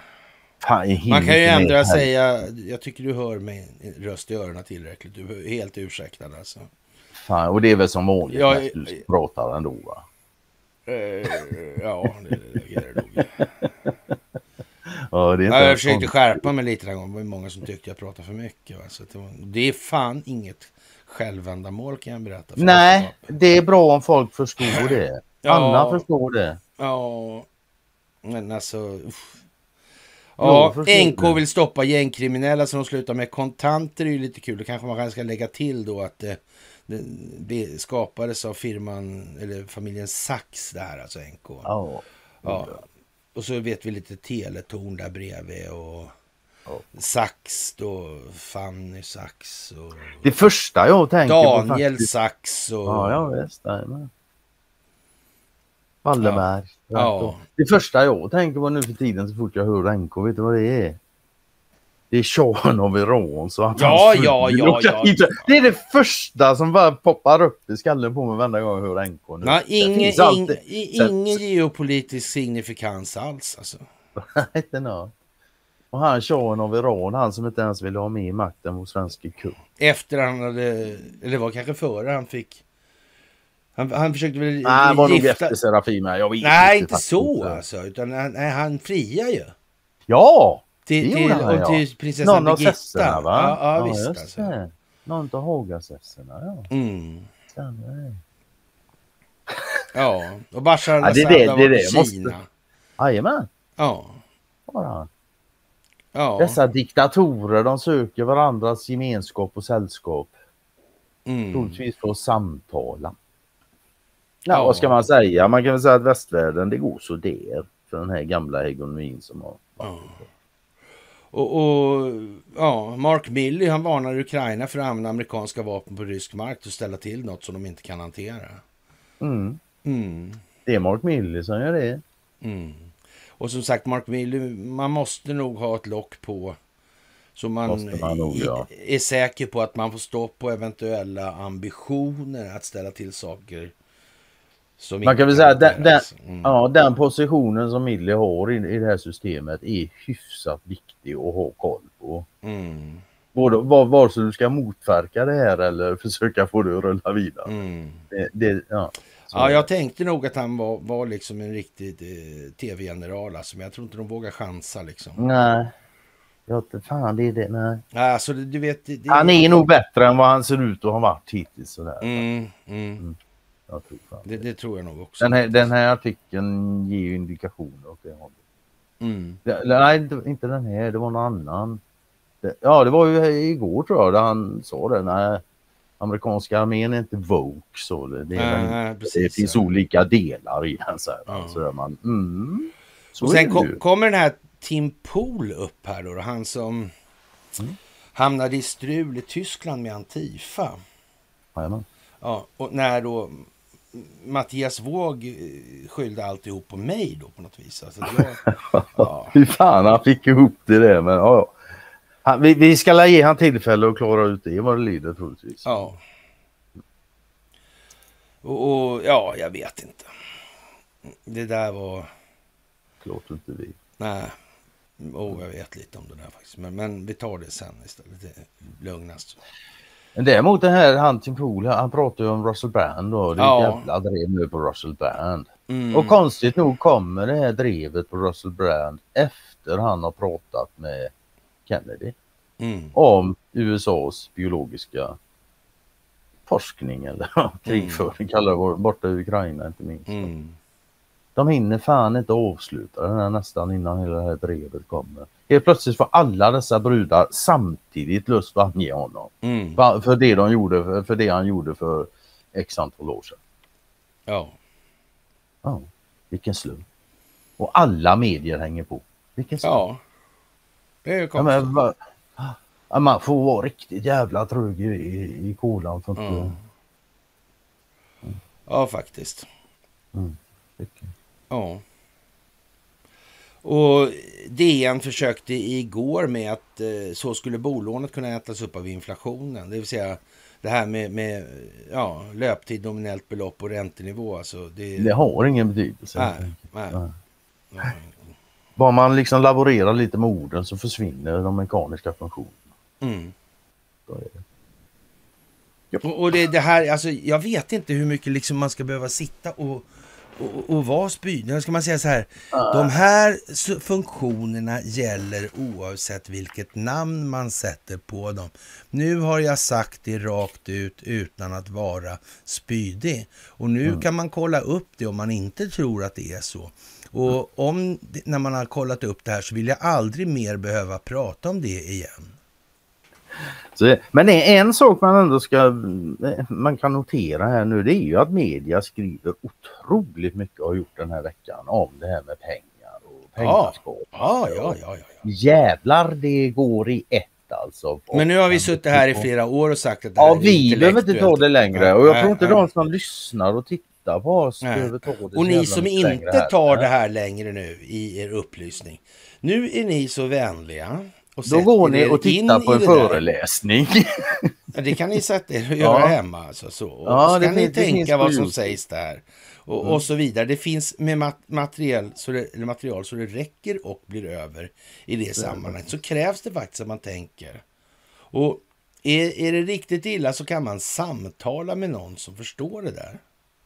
Och, och det, Ja, grejen är väl också, jag, jag, anser nog att de här artiklarna de är till för att starta samtal i din vänkrets. ja, I våra sociala nätverk, eh, Mm. inte de här digitala. Mm. Igen som sagt för att jag har inget mer att säga om det där. Mm. Jag kan bara återupprepa mig och bli liksom grinigare och grinigare gång för gång. Mm. När jag ska behöva prata om det där hjärndöda eländet. Ja. Men däremot så är de här artiklarna väldigt bra kanske ta då med sina nära och kära och vänner och bekanta Mm. som inte är... Nu, nu har ni fan något att utgå ifrån, med samtal Mm. med logiska resonemang om det här. ja. Så, ja. Jag la upp en bild på Tom Clancy fick jag upp i flödet faktiskt när han var på Ticonderoga. Ja. Klass. Det såg jag allt. Ja. Lite speciellt alltså, dök upp i flödet sådär alltså. Mm. Bara Så, så. I sådana här tider. kan det gå. Mm. Får jag nog ändå säga alltså. Någon som vill säga något kanske. Jag vet inte. Jag vet. Ja. Och Riksbanken höjer alltså räntan. Ja det är klart han gör. Mm. Men Fed gjorde inte det. Nej, Nej. det gjorde de inte. det gjorde de inte. De kanske som sagt, jag har det. Men, men jag, jag la in en kommentar. Det var ju faktiskt från förra året. Aftonbladets chatt där eh, med Mm. Stefan Ingves. Där, Då, då får han den här frågan. Kanske en dum fråga som ställs i fel forum. Men påverkar styrräntan även privatlån? Och då svarar Ingves så här. Och det är ett år sedan alltså. Sannolikt ja, men det beror helt och hållet på vad långivare och låntagare blir överens om. För det mesta sneglar man nog på den allmänna räntenivån. Ding dong, ding dong, klocka, klocka. Ja. Det, Ja, Ja, det känns i alla fall som att nu är det dags för lite public shaming även här i Sverige alltså.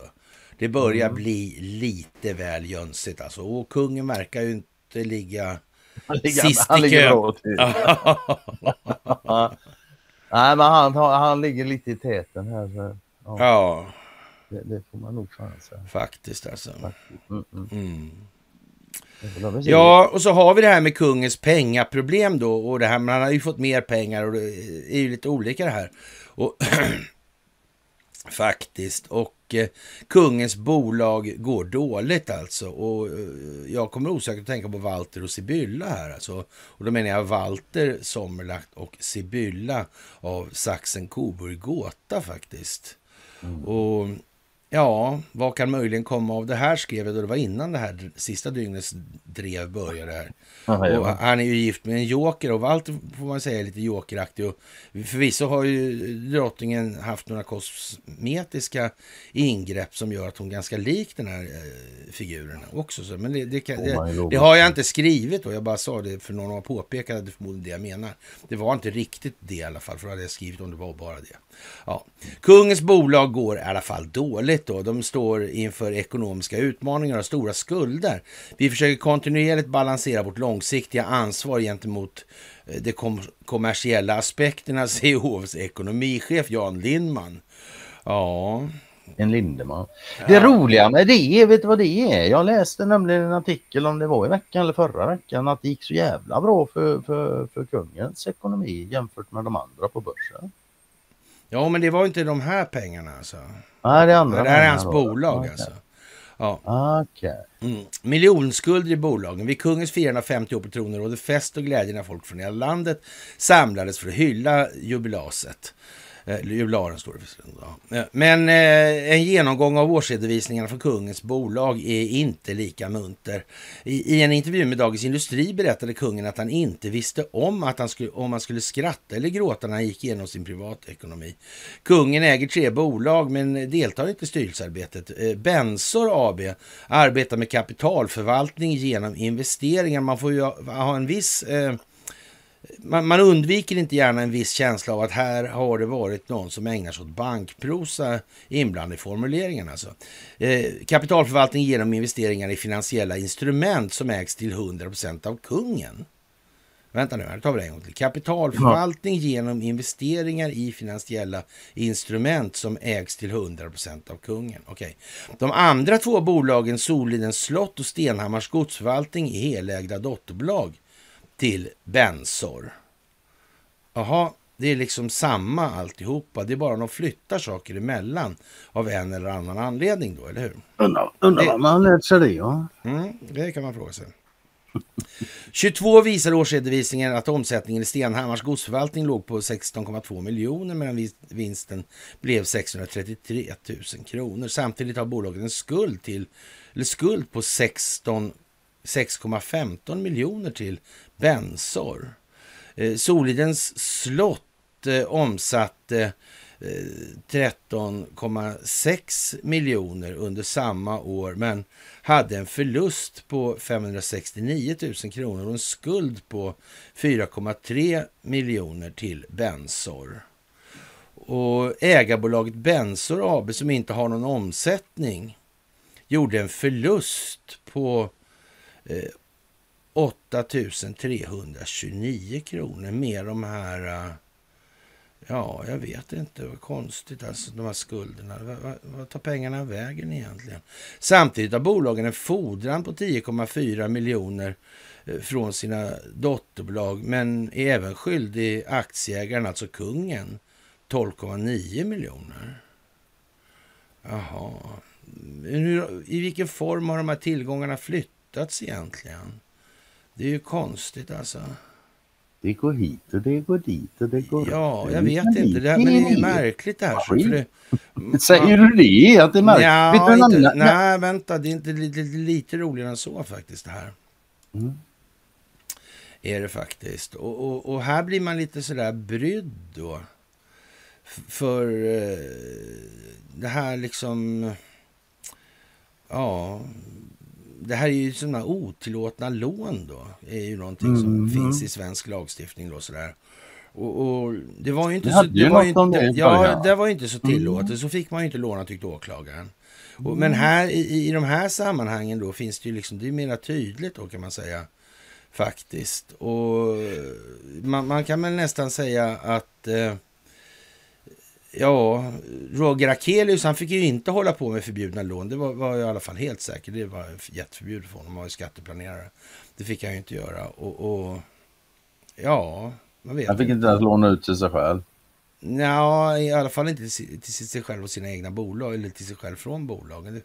En, en annan sak som också är ju jävla konstig och du var inne på det i början här ju när vi pratade om det där. Och det är ju det här faktum att kungen då han har åtalsimmunitet. Ska en sån människa verkligen få lov att driva företag överhuvudtaget? Ja, alltså det, det, det Han kan ju för fan hitta på vad som helst. Ja, han brukar... Det är väl det som är lite, jag tror det är någon som, jag tror det är någon som siktar. Ja, jag tror det. Ja, de måste ha siktat väl när till och med en sån trög jävel som jag börjar skönja, någonting. I bolagsstrukturerna, ja det kan man säga. Det, Mm. det är inte det första man väntar sig. Nej, Nej, faktiskt. det är faktiskt inte det. Och, och jag vet inte. Ja. ja, jag vet inte fan vad man ska säga egentligen alltså. Nej, alltså sådana här grejer. Man, folk vill väl läsa det och sen har de några frågor så får de ställa dem för då vet jag vad jag ska säga. Jag kan svara på frågor. Men i övrigt, jag kommentera sånt här. Vad fan, det är ju sinnessjukt på Mm. riktigt. De låtsas ju inte ens längre att det Nej. skulle vara friskt det här på något sätt. Förbjudna lån liksom. Ja, Ja, det ser du. och jag menar, igen där, det här med att vara kung. Då kan du vara privatperson om du är kung? Har har du, har, är, är, du åtalbar när du är privatperson jag vet inte. som kung? Nej. det Eller gäller åtalsimmuniteten hela tiden? Ja, är man det kung det. hela tiden? Ja, eller fan? ja. Nej, Ja, det är bara då- tjänstetidsmässigt. då kan du inte vara privat. Nej, det är klart. Nej, men han kan inte vara privat. Det är som man Ja, bara... men, ja, ni hör ju själva hur jävla bisarrt det blir när man börjar. Ja, Det är ju så jävla kokt i skit det här så det mm, det är det. Och med det sagt, Conny, Mm. så tror jag vi har hållit på i ungefär då en timme och 55 minuter.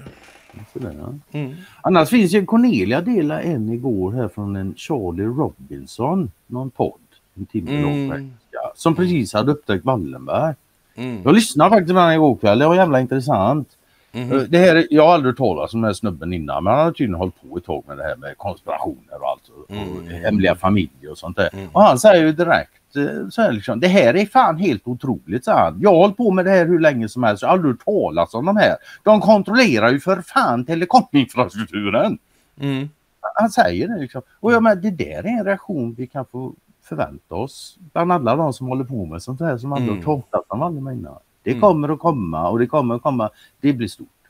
Det blir stort. Ja, det, det, det, är redan, det. det är redan Ja, stort. det är redan stort. Ja. Ja. Ja. Jag menar när han, ja när en sån här snubbe hittar Wallenberg bara skriker rätt ut. Att, Och- och, och- han tar även upp deras mottor och deras Ja, ja, ja, ja, ja, ja, Ja. ja, visst, såklart. Sen så fastnar han väl på Bilderberg och sådär och bla bla och här. Det är ingen monetärmekanik och så. Nej, men, men- fine ändå va. Mm. Ja, man ser att det här börjar rulla jävlar i min låda. Mm, det gör det. Det. Är fantastiskt att få göra det här tillsammans med er. Det måste jag säga. Och eh, nu har väl plattformarna eh, ja, varit halvgriniga. Eller inte halvgriniga. Det är klart att de, man eh, får lika många visningar som man får ökningar på antalet följare på Facebook. Liksom. Man vet ju liksom att det är något som har blivit... Det är något som inte riktigt stämmer sådär va. Så, ja, Fortfarande. Ja, det, må- det, men det måste vara så. Det här måste Ja. vara liksom... Det måste vara anpassat helt enkelt. Och de mäter och mäter och mäter och mäter. Den här Jane, Jan Halper Exakt, Hay, ja, Hayes då, Mm. hon, hon analyserar... Hon har ju sagt analyserar- det rätt, rätt ut. ut, Det alltså. mäts och mäts och mäts. Ja, och hon analyserar och analyserar och så analyserar och så Ja. måste man då in med nya värden i datorerna och, och, och så måste man liksom... Det är liksom inte en fråga om det görs eller inte. Nej, nej, Nej. nej. Det är ganska klart varskott att det Det görs. är så. Ja, Mm. Faktiskt. faktiskt. Ja, det största Tack tack. ska ni ha allihop. Så hörs vi senast på måndag och så önskar vi er en fantastiskt trevlig helg. Absolut. Så hörs vi senast på måndag. Ja. Okej, Ja. tja.